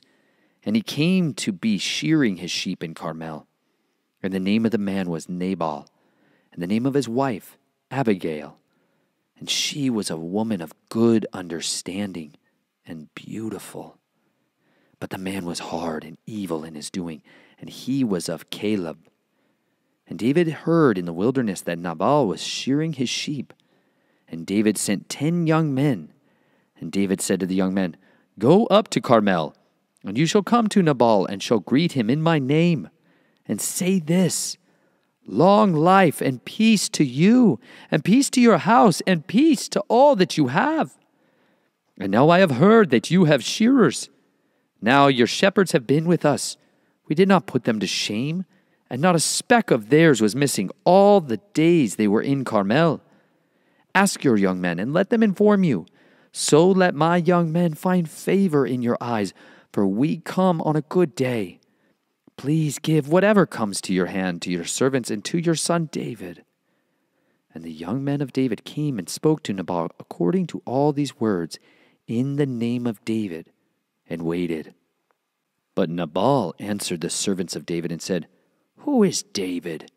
And who is the son of Yeshai? The servants who are running away from their masters have become many nowadays. Shall I take my bread and my water and my meat that I have slaughtered for my shearers and give it to men coming from who knows where? And the young men of David turned around on their way and went back and came and reported to him all these words. And David said to his men, Each one gird on his sword. So they each girded on his sword, and David also girded on his sword. And about four hundred men went with David, and two hundred remained with the baggage. And one of the young men informed Abigail, the wife of Nabal, saying, See, David has sent messengers from the wilderness to greet our master, but he scoffed at them. But the men were very good to us, and did not put us to shame, nor did we miss any item all the days we accompanied them when we were in the fields. They were a wall to us, both by night and day, all the days we were with them tending the sheep. And now know and see what you should do, for evil has been resolved against our master and against all his household, and he is too much of a son of Belial to speak to. Then Abigail made haste and took two hundred loaves and two skins of wine and five sheep made ready, five measures of roasted grain, and one hundred clusters of raisins, and two hundred cakes of figs, and loaded them on donkeys. And she said to her servants, Pass over before me, see, I am coming after you. But she did not inform her husband Nabal. And it came to be as she rode on the donkey that she went down under the cover of the hill, and there were David and his men coming down toward her and she met them. And David had said, Only in vain have I protected all that this one has in the wilderness, so that not a speck was missing of all that belongs to him. And he has repaid me evil for good. Let Elohim do so, and more also to the enemies of David, if I leave one male of all who belong to him by morning light. And Abigail saw David and she hastened to come down from her donkey and fell on her face before David and bowed down to the ground and fell at his feet and said, On me, my master, let this crookedness be on me. And please let your female servant speak in your ears and hear the words of your female servant. Please let not my master regard this man of Belial, Nabal, for as his name is, so is he. Nabal is his name, and folly is with him. But I, your female servant, did not see the young men of my master whom you sent. And now, my master, as Yahuwah lives and as your being lives, since Yahuwah has withheld you from coming to bloodshed and from avenging yourself with your own hand, now then let your enemies be as Nabal, even those seeking evil against my master And now this present which your female servant has brought to my master, let it be given to the young men who follow my master. Please forgive the transgression of your female servant, for Yahuwah is certainly making a steadfast house for my master. Because my master fights the battles of Yahuwah, and evil is not found in you all your days. And if a man rises to pursue you and seek your life, and the life of my master has been bound in the bundle of the living with Yahuwah your Elohim, then the lives of your enemies he shall sling out as from the pocket of a sling. And it shall be when Yahuwah has done for my master according to all the good that he has spoken concerning you, and has commanded you to be ruler over Israel. Do not let this be a staggering and stumbling of heart to my master, that you have shed blood without cause, or that my master has saved himself. And when Yahuwah has done good to my master, then remember your female servant. And David said to Abigail, Blessed be Yahuwah Elohim of Israel, who sent you to meet me today, and blessed is your good taste and blessed are you because you have kept me this day from coming to bloodshed and from avenging myself with my own hand. Nevertheless, as Yahuwah Elohim of Israel lives, who has kept me back from doing evil to you, if you had not hurried and come to meet me, not a male would have been left to Nabal by break of day for certain. And David received from her hand what she had brought him, and said to her, Go up in peace to your house. See, I have listened to your voice and have accepted your face. And Abigail went to Nabal, and see, he was at a feast in his house, like the feast of a sovereign.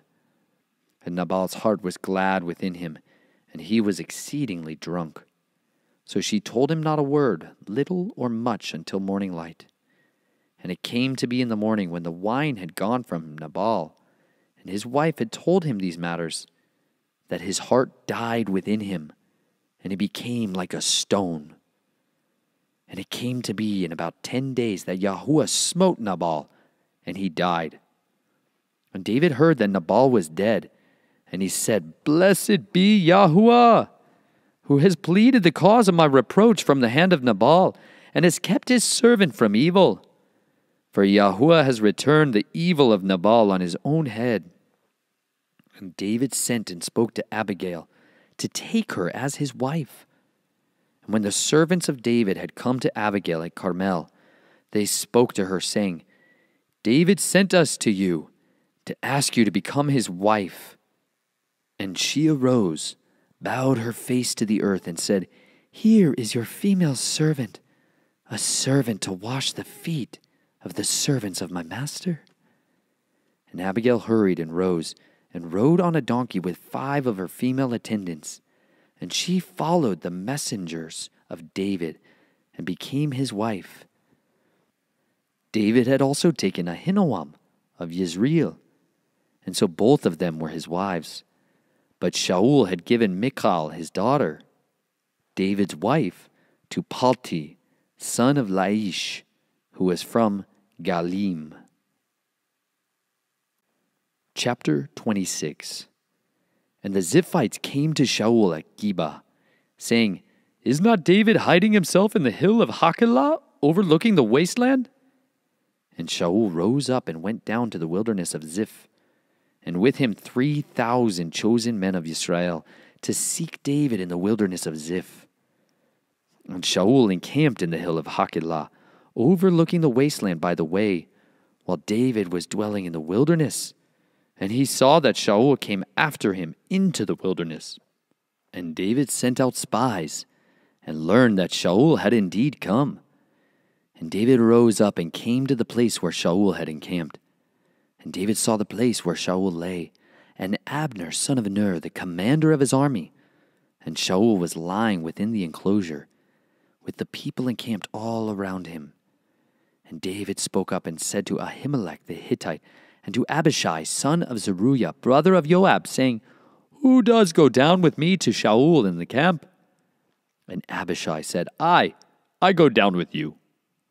And David and Abishai came to the people by night.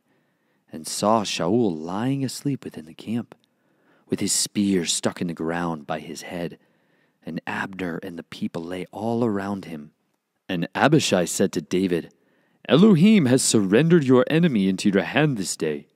And now please, let me strike him at once with the spear right into the earth, and not a second time. But David said to Abishai, Do not destroy him. For who shall stretch out his hand against the anointed of Yahuwah and be guiltless? David also said, As Yahuwah lives, except Yahuwah does smite him, or his day come that he shall die, or he shall go out to battle and perish.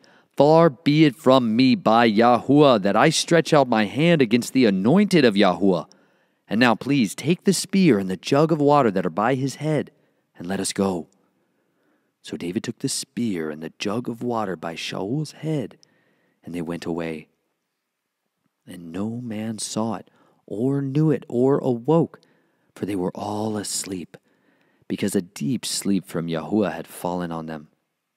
And David passed over to the other side and stood on the top of a hill far away, a great distance being between them. And David called out to the people and to Abner, son of Ner, saying, Do you not answer, Abner? And Abner answered and said, Who are you? calling out to the sovereign. And David said to Abner, Are you not a man? And who is like you in Israel? Why then have you not guarded your master the sovereign? For one of the people came in to destroy your master the sovereign. What you have done is not good. As Yahuwah lives, you are worthy to die, because you have not guarded your master, the anointed of Yahuwah. And now, see where the sovereign spear is, and the jug of water that was by his head. And Shaul recognized David's voice and said, Is that your voice, my son David? And David said, It is my voice, my master, O sovereign. And he said, Why is this that my master is pursuing his servant? For what have I done? And what evil is in my hand? And now please let my master the sovereign hear the words of his servant. If Yahuwah has moved you against me, let him accept an offering. But if it is the children of men, then they are cursed before Yahuwah. For they have driven me out today that I should not join myself to the inheritance of Yahuwah, saying, Go serve other mighty ones. And now, do not let my blood fall to the earth before the face of Yahuwah, for the sovereign of Israel has come out to seek a flea, as one hunts a partridge in the mountains. And Shaul said, I have sinned. Come back, my son David, for no more am I going to do evil to you, because my life was precious in your eyes today. See, I have acted foolishly, and have greatly strayed. And David answered and said, See the sovereign spear, and let one of the young men come over and get it. And let Yahuwah reward every man for his righteousness and his trustworthiness, for this day Yahuwah gave you into my hand. But I would not stretch out my hand against the anointed of Yahuwah. And see, as your life has been valued in my eyes today, so let my life be valued in the eyes of Yahuwah, and let him deliver me out of all distresses. And Shaul said to David, Blessed are you, my son David, achieving much and indeed prevailing. Then David went on his way, and Shaul returned to his place. Chapter 27 And David said in his heart, Now I shall perish by the hand of Shaul. Some day there is not better for me than to escape to the land of the Philistines. Then Shaul shall give up searching for me any longer in any part of Israel, and I shall escape out of his hand. So David rose up and passed over with the six hundred men who were with him to Achish, son of Maok, sovereign of Gath. And David dwelt with Achish at Gath, he and his men, each man with his household. David with his two wives, Ahinoam the Israelitess, and Abigail the Carmelitess, Nabal's widow. And it was reported to Shaul that David had fled to Gath, so he sought him no more. And David said to Achish, If I now have found favor in your eyes, let them give me a place in some town in the country to dwell there. For why should your servant dwell in the royal city with you? And Achish gave him Ziklag that day. That is why Ziklag has belonged to the sovereigns of Yehuda to this day. And the time that David dwelt in the country of the Philistines came to be a year and four new moons. And David and his men went up and raided the Geshurites and the Girzites and the Amalekites. For those nations were the inhabitants of the land from of old, as you go to Shur, even as far as the land of Mitzrayim. And when David had stricken the land, he left neither man nor woman alive but took away sheep and cattle and donkeys and camels and garments and returned and came to Achish. And Achish would say, Where have you made a raid today? And David would say, Against the south of Yehuda, or against the south of the Yerahmeelites, or against the south of the Canaanites.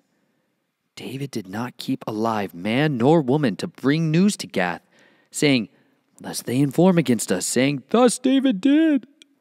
And this was his practice all the days that he dwelt in the country of the Philistines. And Achish trusted David, saying to himself, He has indeed made himself a stench to his people in Israel, and has become my servant forever. Chapter 28 And it came to be in those days that the Philistines gathered their armies for battle, to fight with Israel. And Achish said to David, you know, of course, that you are to go out with me in the army, you and your men. And David said to Achish, Very well, you shall know what your servant should do. And Achish said to David, Very well, I make you one of my chief guardians forever. And Shemuel had died, and all Israel had mourned for him and buried him in Ramah, in his own city. And Shaul had put away the mediums and the spiritists from the land. And the Philistines were gathered and came and encamped at Shunem. And Shaul gathered all Israel, and they encamped at Gilboa. And when Shaul saw the army of the Philistines, he was afraid, and his heart trembled greatly. And Shaul inquired of Yahuwah, but Yahuwah did not answer him, either by dreams or by Urim or by the prophets. Shaul then said to his servants, Find me a woman who is a medium to go to her and inquire of her. And his servants said to him, Look, there is a woman who is a medium at Endor. And Shaul disguised himself and put on other garments and went, he and two men with him. And they came to the woman by night. And he said, Please divine for me, and bring up for me the one I shall name. But the woman said, Look, you know that Shaul has done, how he has cut off the mediums and the spiritists from the land. Why then do you lay a snare for my life to put me to death? And Shaul swore to her by Yahuwah, saying, As Yahuwah lives, no punishment comes upon you for this matter. And the woman said, Whom do I bring up for you? So he said, Bring up Shemuel for me. And when the woman saw Shemuel, she cried out with a loud voice. And the woman spoke to Shaul, saying, Why have you deceived me? You yourself are Shaul. And the sovereign said to her, Do not be afraid. What did you see? And the woman said to Shaul, I saw a spirit coming up out of the earth. And he said to her, What is his form? And she said, An old man is coming up, and he is covered with a mantle. And Shaul knew that it was Shemuel, and he bowed with his face to the ground and did obeisance. And Shemuel said to Shaul, why have you disturbed me by bringing me up? And Shaul answered, I am deeply distressed, for the Philistines are fighting against me, and Elohim has turned aside from me and does not answer me any more, neither by prophets nor by dreams. So I have called you to reveal to me what I should do. Then Shemuel said, And why do you ask me? Seeing Yahuwah has turned aside from you and has become your enemy. And Yahuwah has done for himself as he spoke by me. For Yahuwah has torn the reign out of your hand and given it to your neighbor David. Because you did not obey the voice of Yahuwah, nor execute his burning wrath upon Amalek. Therefore Yahuwah has done this matter to you today, Further, Yahuwah also gives Israel with you into the hand of the Philistines. And tomorrow you and your sons are with me. Yahuwah also gives the army of Israel into the hand of the Philistines. And immediately Shaul fell on the ground, his complete length, and greatly feared because of the words of Shemuel, and there was no strength in him. For he had eaten no food all day or all night. And the woman came to Shaul and saw that he had been greatly disturbed, and said to him, See, your female servant has obeyed your voice, and I have put my life in my hands and have listened to the words which you spoke to me. And now please listen to the voice of your female servant too, and let me set a piece of bread before you and eat, so that you have strength when you go on your way. But he refused and said, I am not going to eat. But his servants, together with the woman, urged him, and he listened to their voice. So he rose from the ground and sat on the bed. And the woman had a fatted calf in the house, and she quickly slaughtered it, and took flour and kneaded it, and baked unleavened bread from it. And she brought it before Shaul and his servants, and they ate, and rose up, and went away that night. Chapter 29 And the Philistines gathered all their armies at Aphek while Israel encamped by a fountain which is in Yezreel. And the princes of the Philistines were passing on by hundreds and by thousands, and David and his men were passing on in the rear with Achish.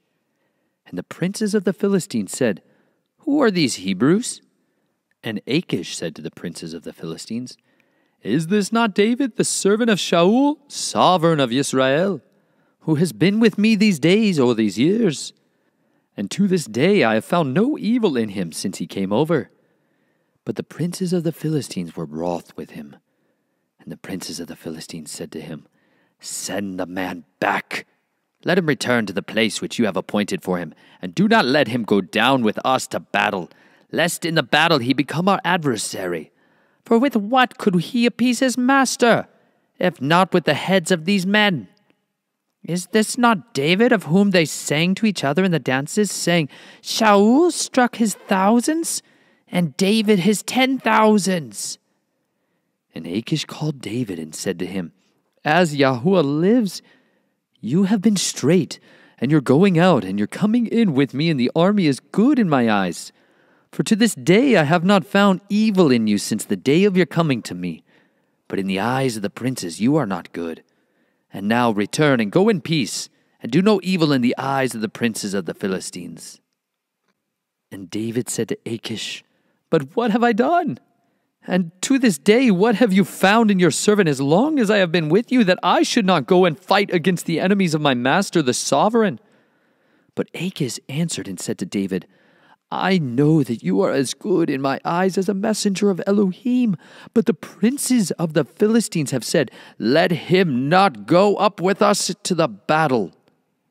And now rise early in the morning with your master's servants who have come with you, and as soon as you are up early in the morning and have light, then go. And David and his men rose up early to go in the morning, to return to the land of the Philistines. And the Philistines went up to Yezreel.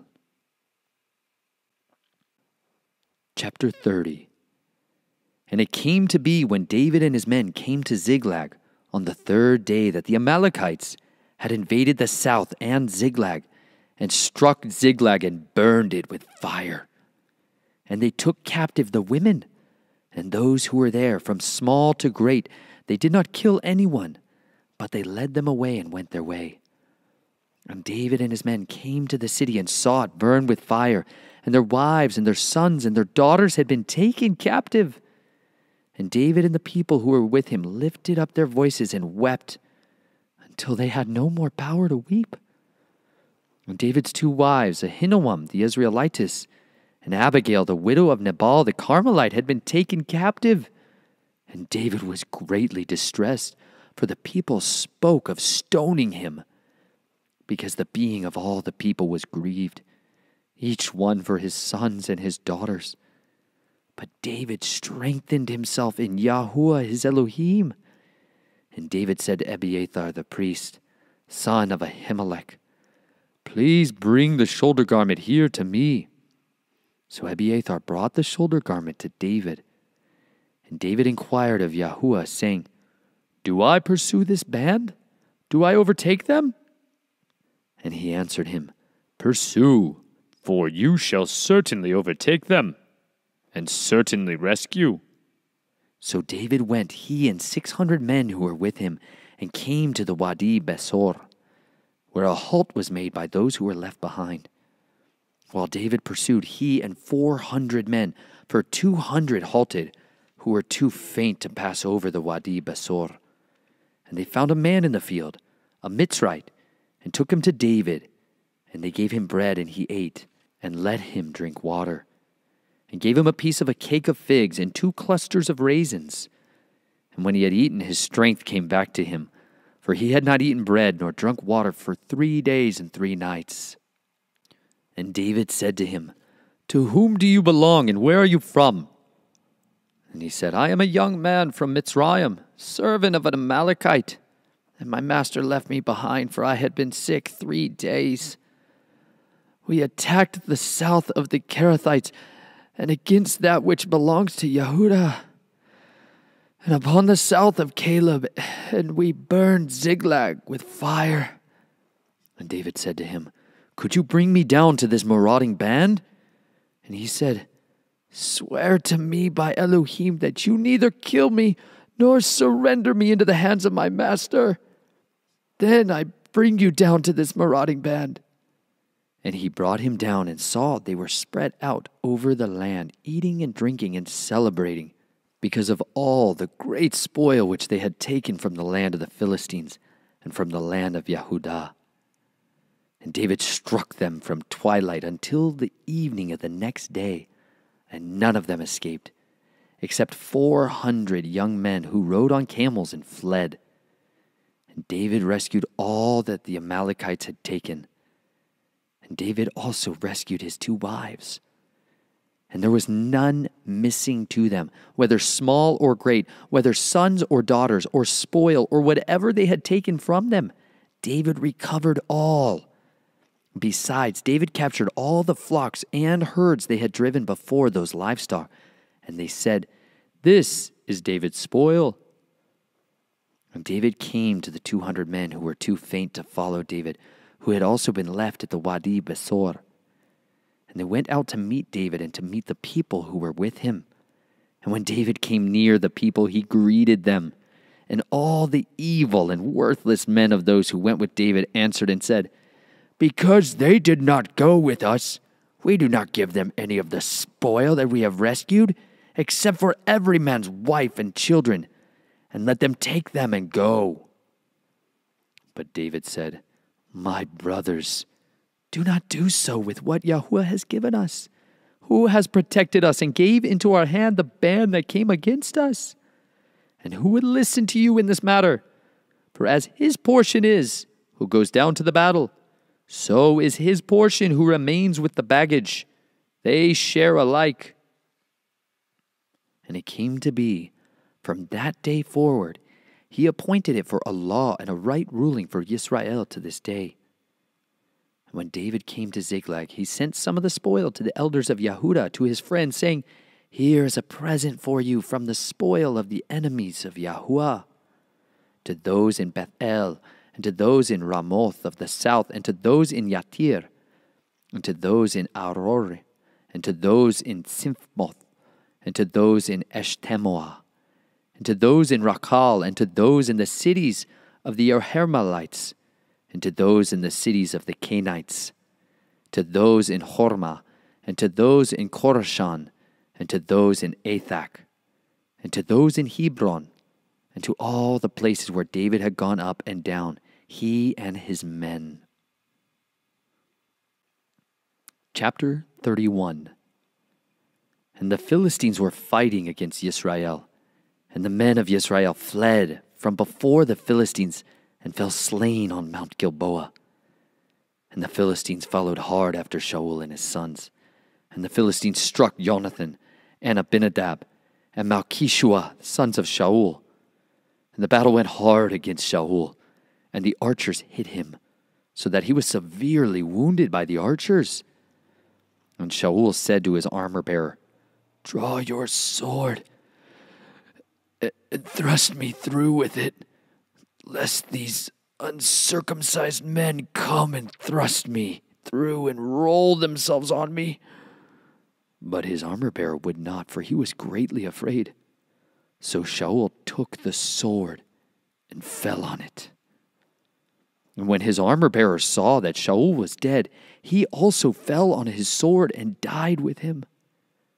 Thus Shaul died, and three of his sons, and his armor bearer, also all his men together on that day. And they saw the men of Israel who were beyond the valley, and those who were beyond the Yarden, that the men of Israel had fled, and that Shaul and his sons were dead. So they forsook the cities and fled, and the Philistines came and dwelt in them. And the next day it came to be when the Philistines came to strip the slain, that they found Shaul and his three sons fallen on Mount Gilboa.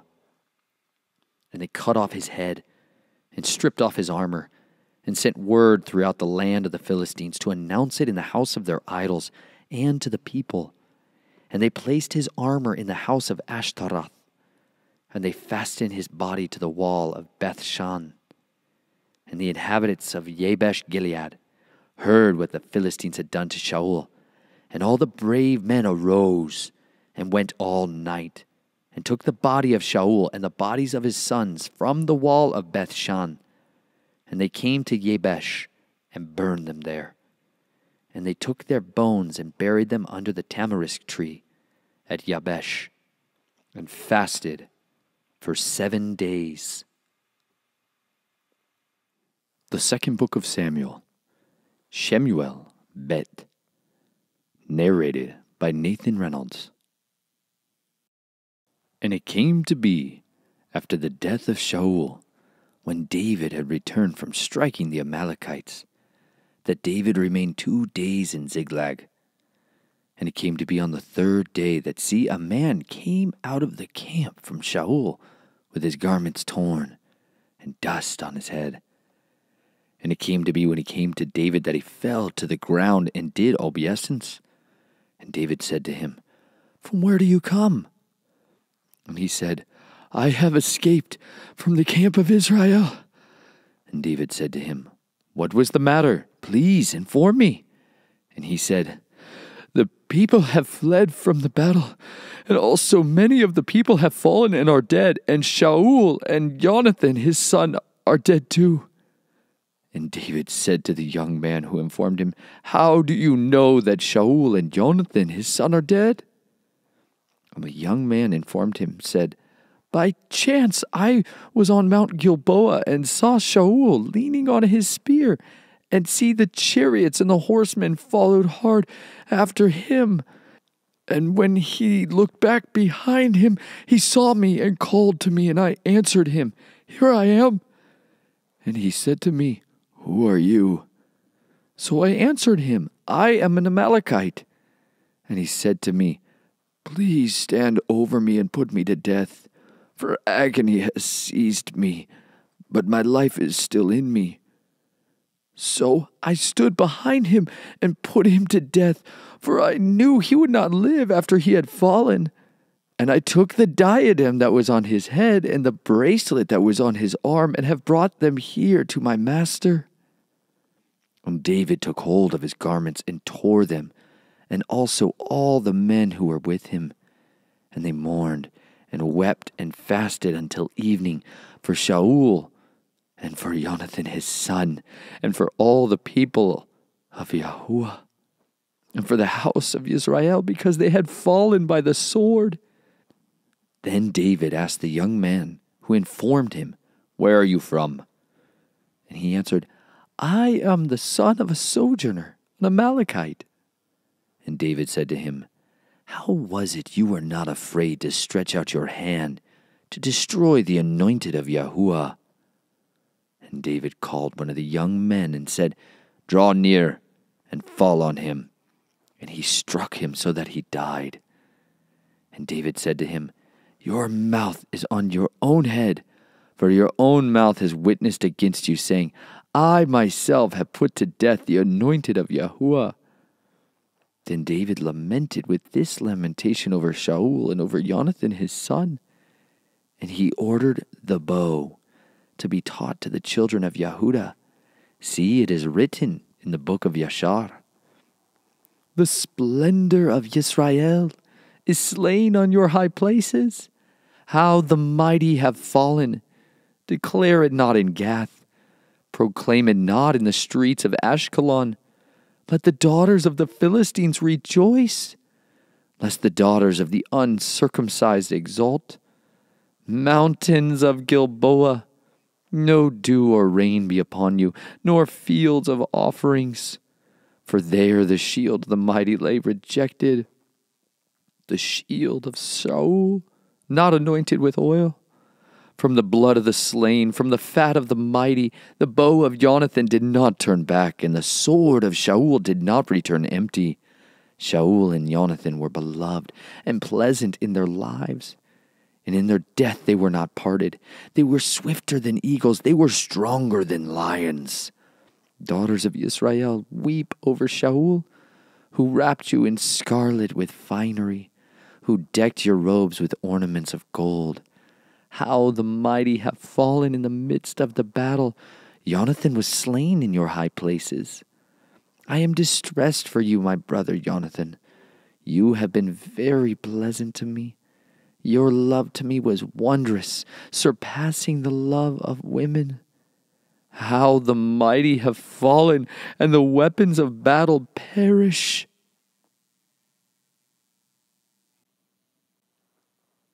Chapter 2 and it came to be afterwards that David inquired of Yahuwah, saying, Do I go up to any of the cities of Yehuda? And Yahuwah said to him, Go up. And David said, Where should I go up? And he said, To Hebron. And David went up there, as well as his two wives, Ahinoam the Israelitess, and Abigail the widow of Nabal the Carmelite. And David brought up the men who were with him, each man with his household, and they dwelt in the cities of Hebron. And the men of Yehuda came and anointed David sovereign over the house of Yehuda there.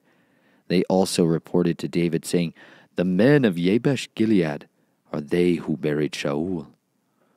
David then sent messengers to the men of Yabesh Gilead, and said to them, You are blessed of Yahuwah, for you have shown this loving commitment to your master to Shaul that you buried him. And now, Yahuwah show loving commitment and truth to you, and I am also going to do you good, because you have done this deed. But now let your hands be strengthened and be brave, for your master Shaul is dead, and also the house of Yehuda has anointed me sovereign over them. But Abner, son of Ner, commander of the army of Shaul, took Ishbosheth, the son of Shaul, and brought him over to Mahanaim, and set him up to reign over Gilead, and over the Asherites, and over Yisrael, and over Ephraim, and over Benjamin, and over all Yisrael. Ishbosheth, son of Shaul, was forty years old when he began to reign over Israel, and he reigned two years. Only the house of Yehuda followed David and the time that David was sovereign in Hebron over the house of Yehuda was seven years and six new moons. And Abner, son of Ner, and the servants of Ishbosheth, son of Shaul, went out from Mahanaim to Gibeon. And Joab, son of Zeruiah, and the servants of David went out and met them by the pool of Gibeon. And they sat down one on one side of the pool and the other on the other side of the pool. And Abner said to Joab, Let the young men now rise and compete before us. And Joab said, Let them rise. And they rose and went by number, twelve from Benjamin, followers of Ishbosheth, son of Shaul, and twelve from the servants of David, Each man took hold of his opponent by his head and thrust his sword in his opponent's side, and they fell down together, so that the place was called the Field of Sharp Swords, which is in Gibeon. And the battle was fierce that day. And Abner and the men of Israel were smitten before the servants of David. And there were three sons of Zeruiah there Joab, and Abishai, and Asahel. And Asahel was light on his feet as one of the gazelles in the field. And Asahel pursued Abner. And in going, he did not turn aside to the right or to the left from following Abner. And Abner looked behind him and said, Are you Asahel? And he answered, I am. And Abner said to him, Turn aside to your right hand or to your left, and lay a hold of one of the young men, and take his armor for yourself. But Asahel would not turn aside from following him. And Abner again said to Asahel, Turn aside from following me. Why should I strike you to the ground? How then could I face your brother Joab? But he refused to turn aside, and Abner struck him with the blunt end of the spear in the stomach, so that the spear came out of his back. And he fell down there and died on the spot. And it came to be that as many as came to the place where Asahel fell down and died stood still. And Joab and Abishai pursued Abner. And the sun was going down, and they came to the hill of Ammah, which overlooks Giah by the way of the wilderness of Gibeon. And the children of Benjamin gathered together behind Abner and became a single company and took their stand on the top of the hill. And Abner called to Joab and said, Should the sword devour forever? Do you not know that it is bitter in the latter end? And when are you going to say to the people to turn back from pursuing their brothers? And Joab said, As Elohim lives, if you had not spoken, then all the people would have given up pursuing their brothers only the next morning. Joab then blew a shofar and all the people halted and pursued Israel no further, nor did they fight any more. And Abner and his men went on all that night through the desert plain, and passed over the Yarden, and went through all Bithron, and they came to Mahanaim. And Joab turned back from pursuing Abner. And when he had gathered all the people together, there were missing of David's servants nineteen men, and Asahel, but the servants of David had stricken of Benjamin and Abner's men three hundred and sixty men who died. And they brought Asahel and buried him in his father's burial site, which is in Bethlehem. And Joab and his men went all night, and they came to Hebron at daybreak. Chapter 3 And the fighting between the house of Shaul and the house of David was long drawn out. But David was going on and was strong, and the house of Shaul was going on and was weak. And sons were born to David in Hebron, and his firstborn was Amnon, by Ahinoam the Israelitess, and his second Chileab, by Abigail the widow of Nabal the Carmelite, and the third Absalom, son of Maacah, the daughter of Talmai, sovereign of Geshur, and the fourth Adoniah, son of Haggith, and the fifth, Shephatiah, son of Abital, and the sixth, Yithream, by David's wife Eglah. These were born to David in Hebron. And it came to be while there was fighting between the house of Shaul and the house of David that Abner was strengthening himself in the house of Shaul.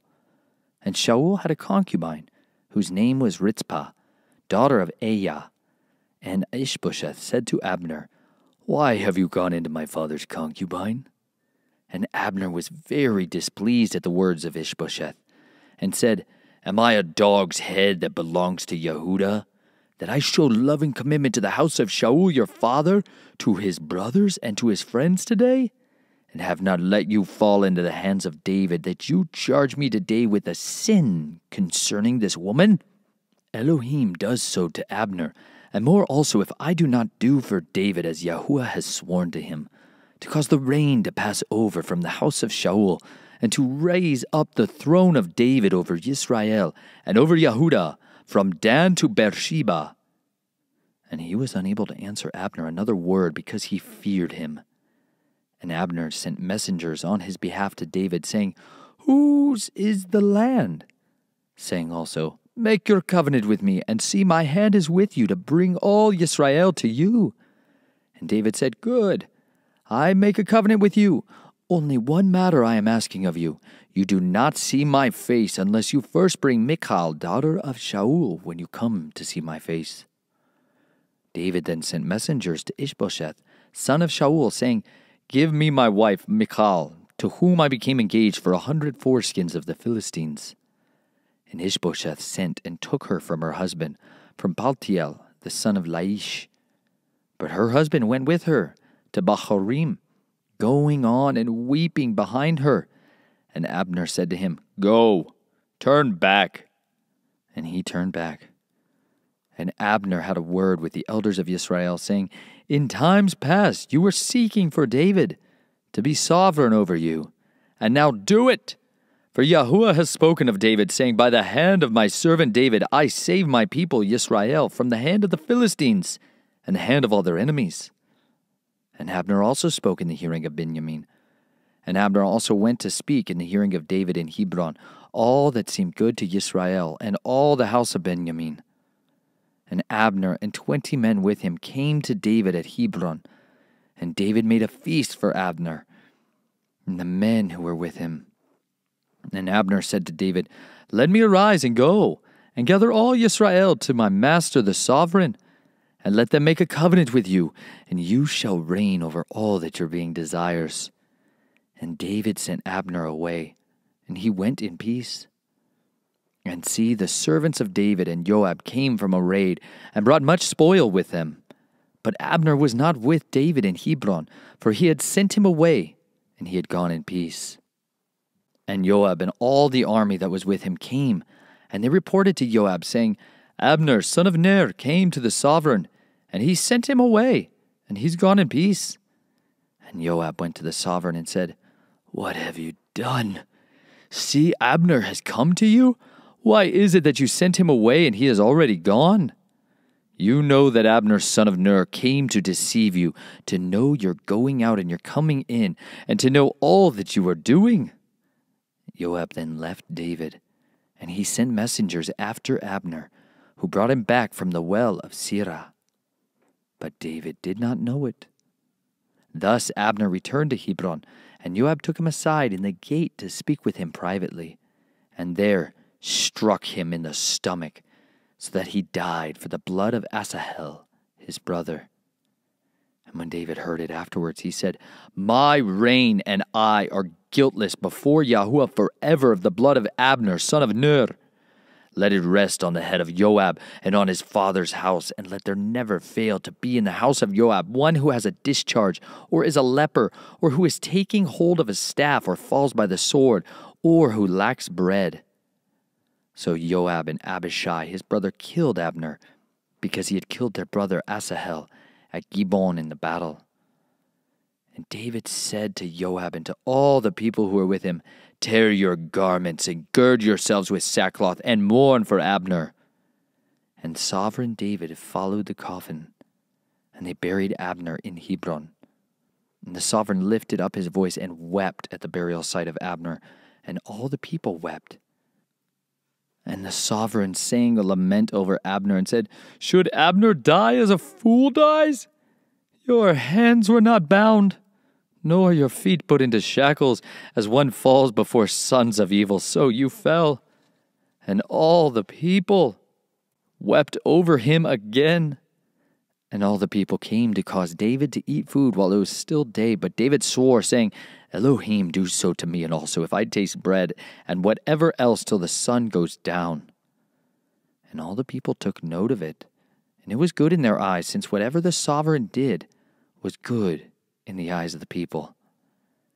And all the people and all Israel knew that day that it had not been the sovereign's intent to kill Abner, son of Ner. The sovereign also said to his servants, Do you not know that a prince and a great one has fallen in Israel today? And I am weak today. Though anointed sovereign, and these men, the sons of Zeruiah, are too harsh for me. Let Yahuwah repay the evil doer according to his evil. Chapter 4 And the son of Shaul heard that Abner had died in Hebron, and he lost heart, and all Israel was troubled. And the sons of Shaul had two men, commanders of bands, and the name of one was Baanah, and the name of the other was Rechab, sons of Rimmon the Beerothite, the children of Benjamin. For Beeroth was also reckoned to Benjamin, because the Beerothites fled to Gittayim and have been sojourners there until this day. Now Jonathan, son of Shaul, had a son who was lame in his feet. He was five years old when the news about Shaul and Jonathan came from Yezreel. And his nurse took him up and fled. And it came to be as she hurried to flee that he fell and became lame. And his name was Mephibosheth. So the sons of Rimmon the Beerothite, Rechab and Baanah, went and came about the heat of the day to the house of Ishbosheth, who was lying on his bed at noon. And they came into the midst of the house to fetch wheat, and they struck him in the stomach. And Rechab and Baanah, his brother, escaped.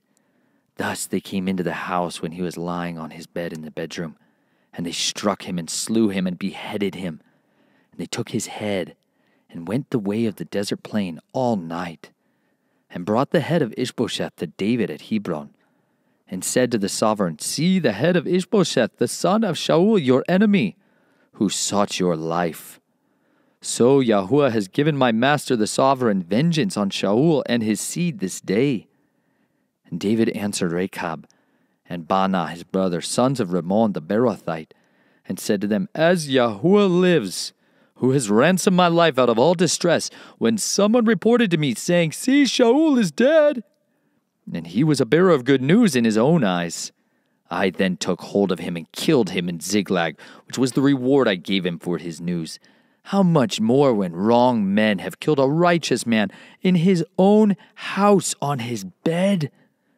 Should I not now require his blood at your hand and remove you from the earth? And David commanded his young men, and they killed him, and cut off their hands and feet, and hanged them by the pool in Hebron. And they took the head of Ishbosheth and buried it in the burial site of Abner in Hebron. Chapter 5 And all the tribes of Israel came to David at Hebron and spoke, saying, Look, we are your bone and your flesh. Formerly, when Shaul was sovereign over us, you were the one who led Israel out and brought them in. And Yahuwah said to you, Shepherd my people Israel, and be ruler over Israel. And all the elders of Israel came to the sovereign at Hebron. And sovereign David made a covenant with them at Hebron before Yahuwah, and they anointed David sovereign over Israel. David was thirty years old when he began to reign, and he reigned forty years. In Hebron, he reigned over Yehuda seven years and six new moons. And in Jerusalem, he reigned 37 years over all Israel and Yehuda. And the sovereign and his men went to Jerusalem against the Jebusites, the inhabitants of the land. And they spoke to David, saying, Except you take away the blind and the lame, you are not going to come in here. Thinking, David is not going to come in here. But David captured the stronghold of Zion, the city of David. And David said on that day, Anyone who strikes the Jebusites, let him go by the water shaft, and take the lame and the blind who are hated by David's being. That is why they say the blind and the lame do not come into the house. And David dwelt in the stronghold and called it the city of David. And David built all around from Millo and inward. And David went on and became great, and Yahweh Elohim of hosts was with him. Now Hiram, sovereign of Zor, sent messengers to David, and cedar trees, and carpenters, and masons. And they built a house for David.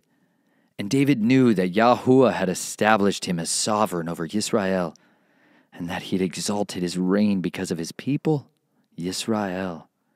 And David took more concubines and wives from Jerusalem after he had come from Hebron, and more sons and daughters were born to David.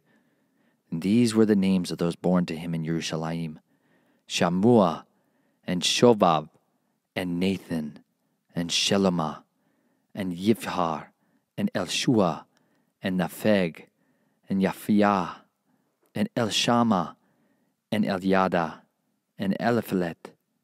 And the Philistines heard that they had anointed David sovereign over Israel. And all the Philistines went up to search for David. But David heard and went down to the stronghold. And the Philistines came and spread themselves out in the valley of Rephaim. And David inquired of Yahuwah, saying, Do I go up against the Philistines?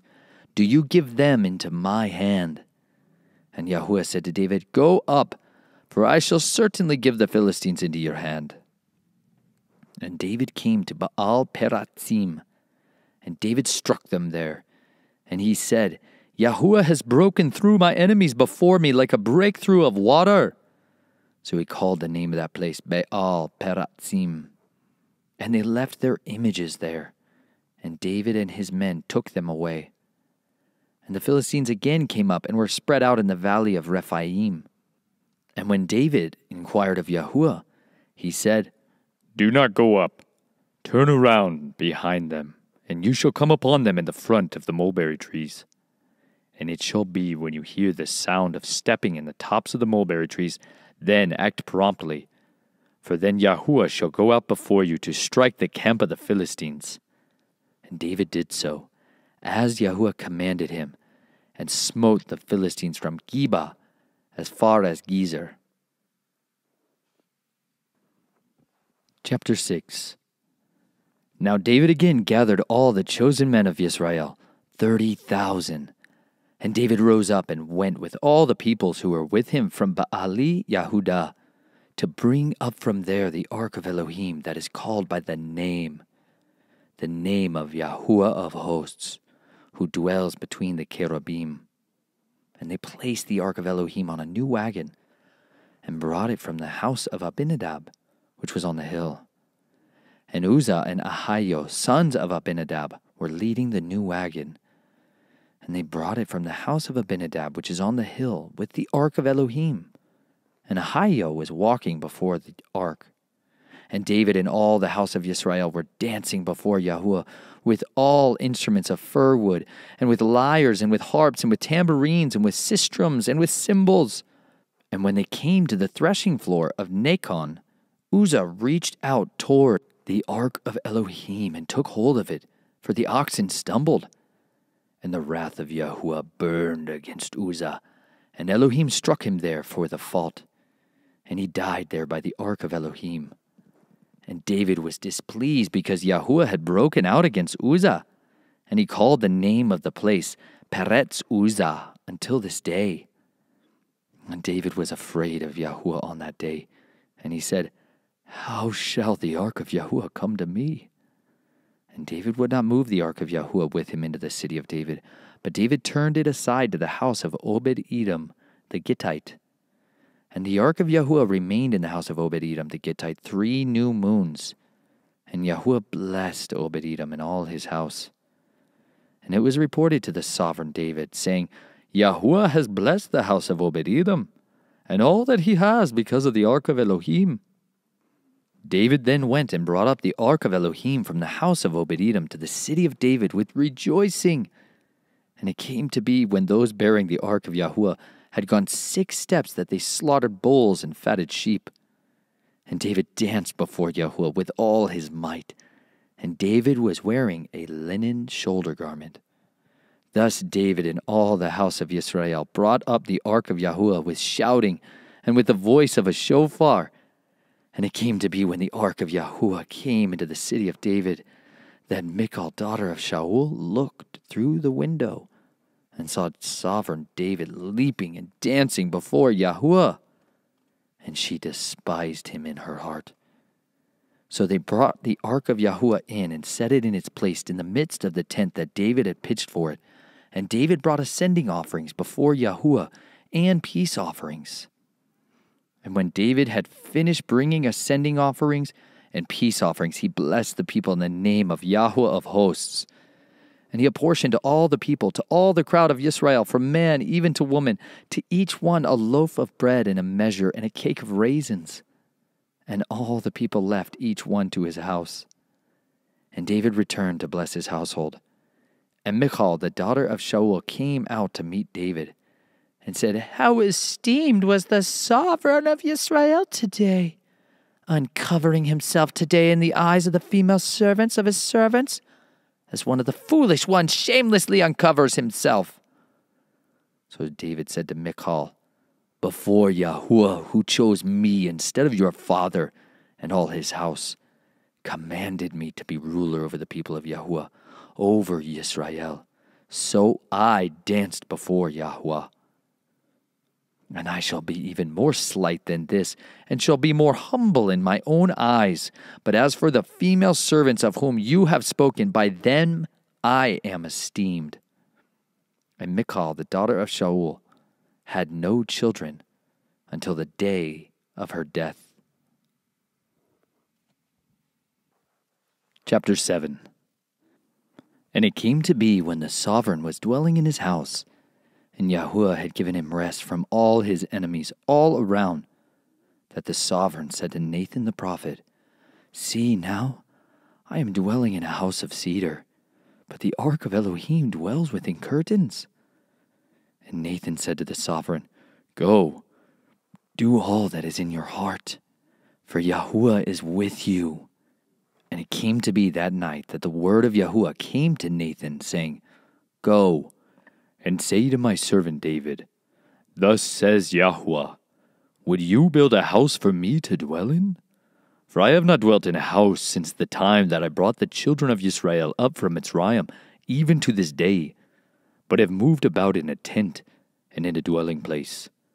Wherever I have walked with all the children of Israel, have I ever spoken a word to anyone from the tribes of Israel, whom I commanded to shepherd my people Israel, saying, Why have you not built me a house of cedar? And now say to my servant David, Thus says Yahweh of hosts, I took you from the pasture, from following the flock, to be ruler over my people, over Israel.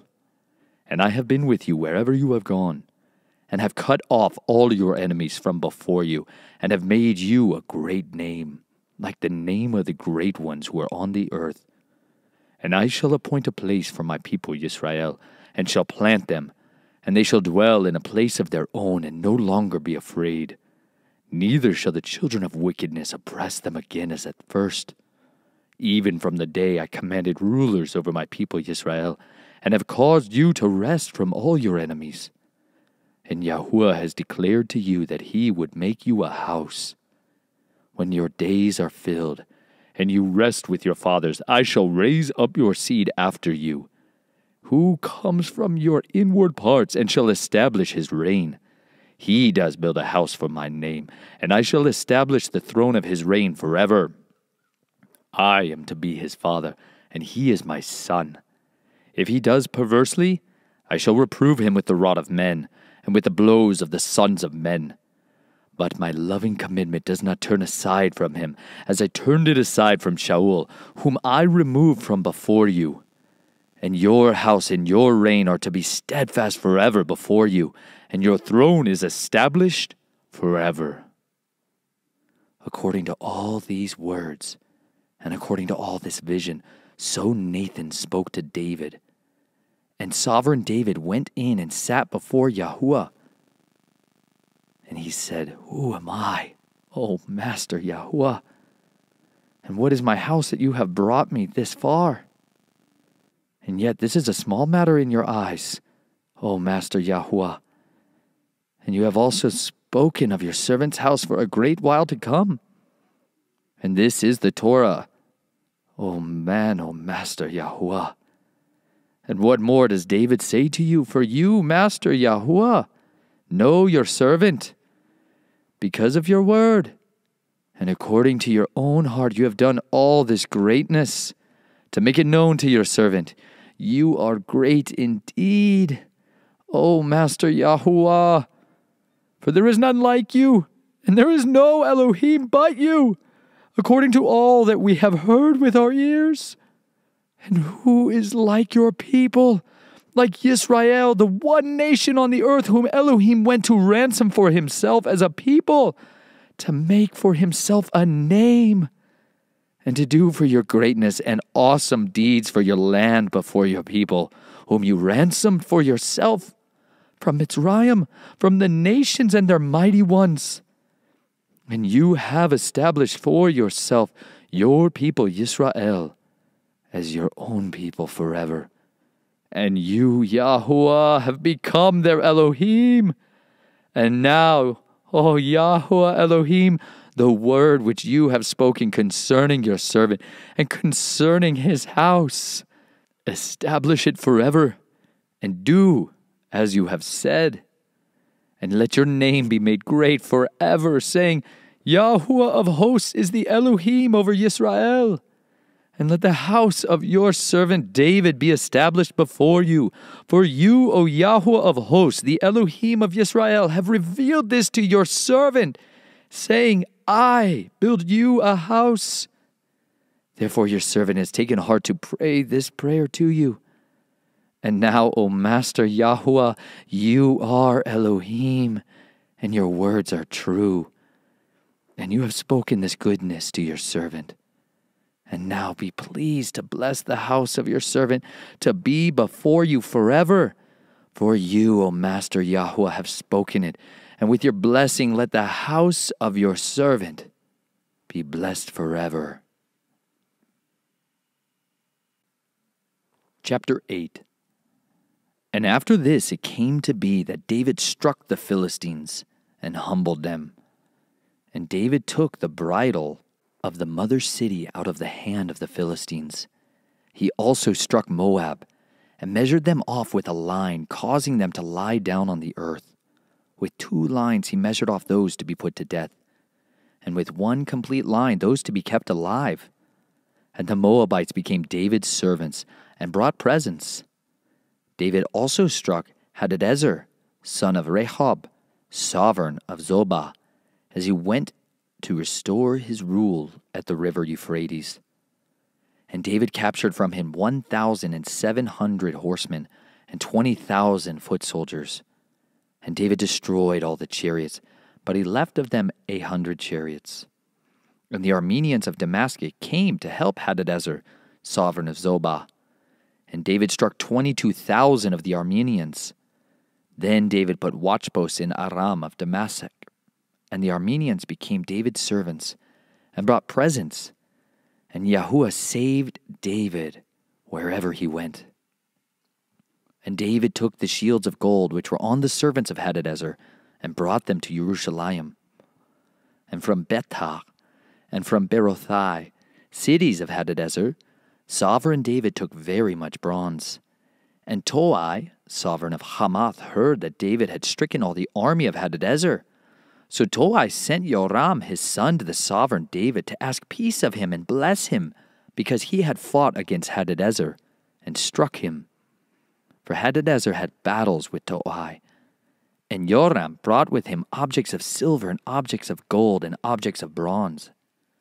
Sovereign David also set these apart to Yahuwah, along with the silver and gold that he had set apart from all the nations which he had humbled from Aram and Moab, and from the children of Ammon, and from the Philistines, and from Amalek, and from the spoil of Hadadezer, son of Rehob, sovereign of Zobah. And David made a name for himself when he returned from striking 18,000 Arameans in the valley of Salt. And he put watchposts in Edom. Throughout all Edom he put watchposts. And all the Edomites became David's servants and Yahuwah saved David wherever he went. And David reigned over all Israel. And David was doing right ruling and righteousness to all his people. And Joab, son of Zeruiah, was over the army. And Jehoshaphat, son of Ahilud, was recorder. And Zadok, son of Ahitub, and Ahimelech, the son of Abiathar, were the priests. And Seraiah was the scribe. And Beniyahu, son of Jehoiada, was over both the Kerethites and the Pelethites, and David's sons were priests. Chapter 9 And David said, Is there still anyone who is left of the house of Shaul? that I might show him loving commitment because of Jonathan. And the house of Shaul had a servant whose name was Ziba. And they had called him to David, and the sovereign said to him, Are you Ziba? And he said, Your servant. And the sovereign said, Is there not still someone of the house of Shaul, so that I show him the loving commitment of Elohim? And Ziba said to the sovereign, There is still a son of Jonathan, lame in his feet. So the sovereign said to him, Where is he? And Ziba said to the sovereign, See, he is in the house of Makir, son of Ammiel, in Lo Debar. And sovereign David sent and brought him out of the house of Makir, son of Ammiel, from Lo Debar. And Mephibosheth, son of Jonathan, son of Shaul, came to David and fell on his face and did obeisance. And David said, Mephibosheth! And he answered, Here is your servant. David then said to him, Do not fear, for I shall certainly show you loving commitment because of Jonathan your father, and shall return to you all the land of Shaul your grandfather, and let you eat bread at my table continually. And he bowed himself and said, What is your servant that you should turn to such a dead dog as I? And the sovereign called Ziba, servant of Shaul, and said to him, I have given to your master's son all that belonged to Shaul, and to all his house. And you and your sons and your servants shall work the land for him, and you shall bring in its yield, and your master's son shall have food to eat. But let Mephibosheth, your master's son, eat bread at my table always. And Ziba had fifteen sons and twenty servants. And Ziba said to the sovereign, According to all that my master the sovereign has commanded his servant, so your servant does. As for Mephibosheth, said the servant, he shall eat at my table as one of the sons of the sovereign. And Mephibosheth had a young son whose name was Micah, and all who dwelt in the house of Ziba were servants of Mephibosheth. And Mephibosheth was dwelling in Jerusalem, for he ate continually at the sovereign's table, and he was lame in both his feet. Chapter 10 And after this it came to be that the sovereign of the children of Ammon died, and Hanun his son reigned in his place. And David said, Let me show loving commitment to Hanun, son of Nahash, as his father showed loving commitment to me. So David sent by the hand of his servants to comfort him concerning his father. And when David's servants came into the land of the children of Ammon, the chiefs of the children of Ammon said to Hanun their master, Is David esteeming your father in your eyes in that he has sent comforters to you?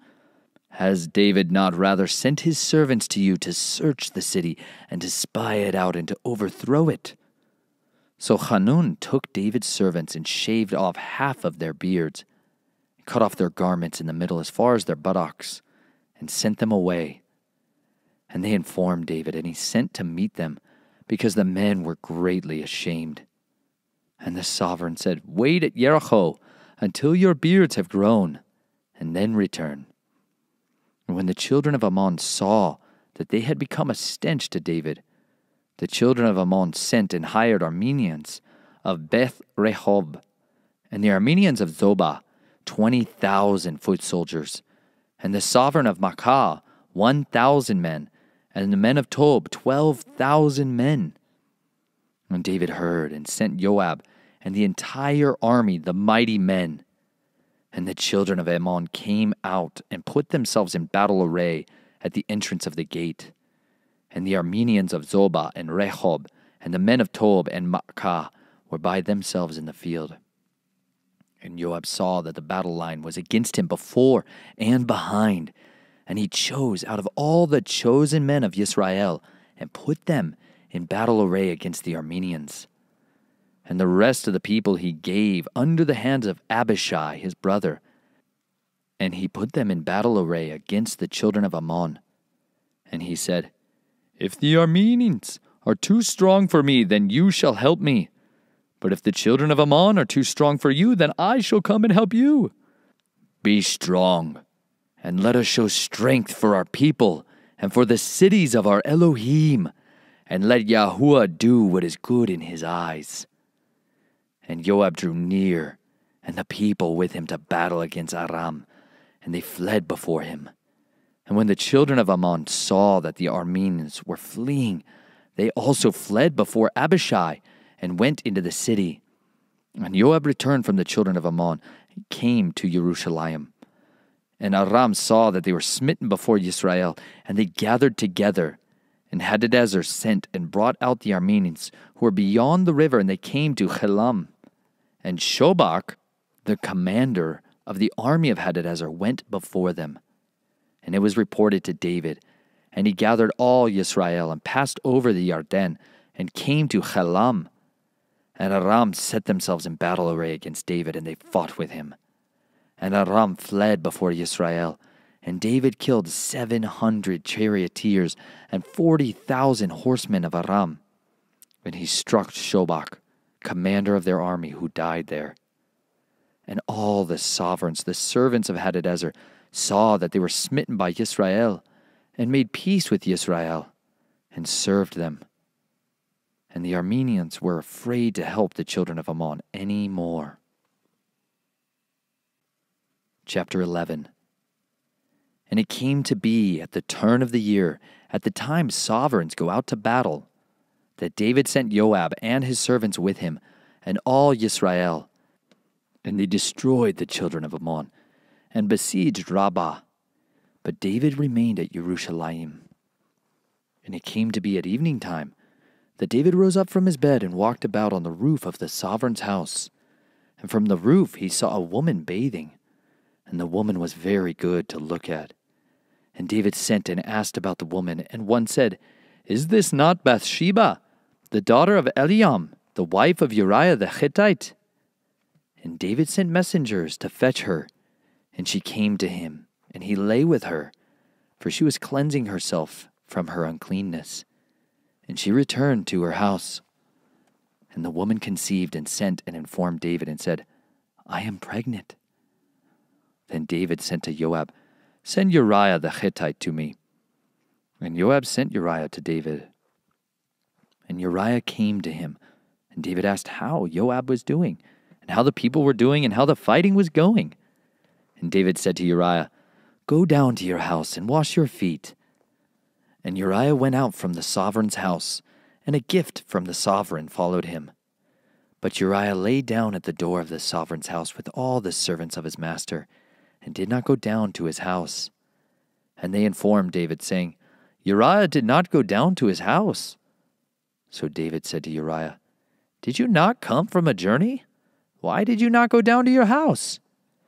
And Uriah said to David, The ark and Yisrael and Yehuda are dwelling in booths, and my master Joab and the servants of my master are encamped in the open fields, and I should I go to my house to eat and to drink and to lie with my wife? As you live, and as your being lives, let me not do this. And David said to Uriah, Remain here today also, and tomorrow I let you go. So Uriah remained in Jerusalem that day and the next. And David called him, and he ate and drank before him, and he made him drunk.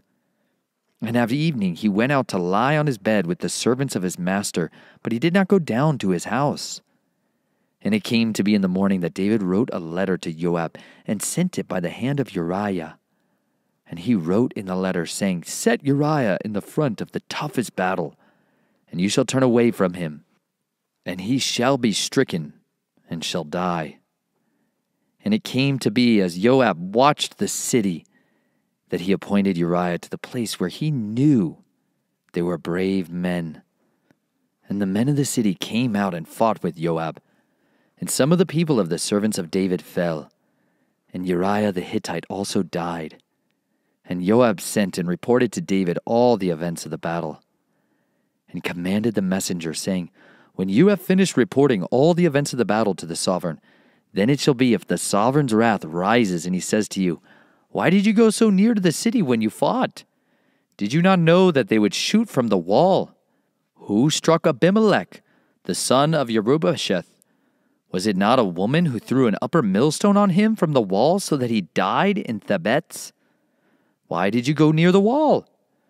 Then you shall say, Your servant Uriah the Hittite is also dead. And the messengers went and came and reported to David all with which Joab had sent him. And the messenger said to David, The men have been mighty against us and came out to us in the field, but we drove them back as far as the entrance of the gate. And the archers shot from the wall at your servants, and some of the sovereign's servants are dead. And your servant Uriah the Hittite is also dead. When David said to the messenger, Say to Joab, Do not let this matter be evil in your eyes, for the sword devours one as well as another. Strengthen your attack against the city and overthrow it, and strengthen him. And the wife of Uriah heard that Uriah her husband was dead, and she lamented for her husband. And when her mourning was over, David sent and brought her to his house. And she became his wife and bore him a son. But the deed that David had done was evil in the eyes of Yahuwah. Chapter 12 Then Yahuwah sent Nathan to David, and he came to him and said to him, There were two men in one city, one rich and the other poor. The rich one had flocks and herds, very many, but the poor one had only one little ewe lamb, which he had bought and kept alive. And it grew up with him and with his children together. It ate of his own food and drank from his own cup and lay in his bosom. And it was like a daughter to him. And a traveler came to the rich man who refused to take from his own flock and from his own herd to prepare one for the wayfaring man who had come to him. But he took the poor man's lamb and prepared it for the man who had come to him. And the wrath of David burned greatly against the man. And he said to Nathan, As Yahuwah lives, the man who has done this is a son of death. Also, he has to repay fourfold for the lamb because he did this deed and because he had no compassion. Then Nathan said to David, You are the man. Thus said Yahweh Elohim of Israel I anointed you sovereign over Israel, and I delivered you from the hand of Shaul, and I gave you your master's house and your master's wives into your bosom, and gave you the house of Israel and Yahudah. And if that were not enough, I also would have given you much more. Why have you despised the word of Yahuwah to do evil in his eyes? You have struck Uriah the Hittite with the sword, and his wife you took to be your wife, and you have killed him with the sword of the children of Ammon. And now the sword does not turn aside from your house, because you have despised me and have taken wife of Uriah the Hittite to be your wife. Thus said Yahuwah See, I am raising up evil against you from your own house and shall take your wives before your eyes and give them to your neighbor, and he shall lie with your wives in the sight of the sun. For you did it in secret. But I shall do this deed before all Israel and before the sun. And David said to Nathan, I have sinned against Yahuwah. And Nathan said to David, Also, Yahuwah has put away your sin. You shall not die. However, because by this deed you have greatly scorned Yahuwah, the child also who is born to you shall certainly die. And Nathan went to his house, and Yahuwah smote the child that Uriah's wife had borne to David, and he was sick. And David sought Elohim for the child. And David fasted and went in and spent all night lying on the ground. So the elders of his house stood up over him to raise him up from the earth. But he would not, nor did he eat food with them. And on the seventh day it came to be that the child died. And the servants of David were afraid to inform him that the child was dead. For they said, Look, while the child was still alive, we spoke to him, and he would not listen to our voice. And how do we say to him that the child is dead? Then he shall do evil. And David saw that his servants were whispering. And David perceived that the child was dead. Then David said to his servants, Is the child dead? And they said, He is dead. David then rose up from the ground and washed and anointed himself and changed his garments. And he went into the house of Yahuwah and bowed himself. Then came to his own house and asked, and they set food before him, so he ate. And his servant said to him, What is this that you have done? You fasted and wept because of the living child, but when the child died, you rose up and ate food. And he said, While the child was alive, I fasted and wept. For I said, Who knows whether Yahuwah shows favor unto me, and the child shall live? But now he is dead. Why should I fast? Am I able to bring him back again? I am going to him, but he does not return to me. And David comforted Bathsheba his wife, and went in to her, and lay with her. So she bore him a son, and he called his name Shelomah. And Yahuwah loved him, and sent by the hand of Nathan the prophet, and called his name Yedidiah, because of Yahuwah. And Joab fought against Rabbah of the children of Ammon, and captured the royal city. And Joab sent messengers to David, and said, I have fought against Rabbah, and I have captured the city's water supply. And now gather the rest of the people together and encamp against the city and capture it, lest I capture the city and it be called after my name. And David gathered all the people and went to Rabbah and fought against it and captured it. And he took their sovereign's crown from his head, and its weight was a talent of gold with precious stones. And it was on David's head. And he brought out the spoil of the city, a very great amount. And he brought out the people who were in it, and set them to the saw, and to the sharp instruments of iron, and to axes of iron, and made them pass over to the brickworks. And so he did with all the cities of the children of Ammon. And David and all the people returned to Jerusalem.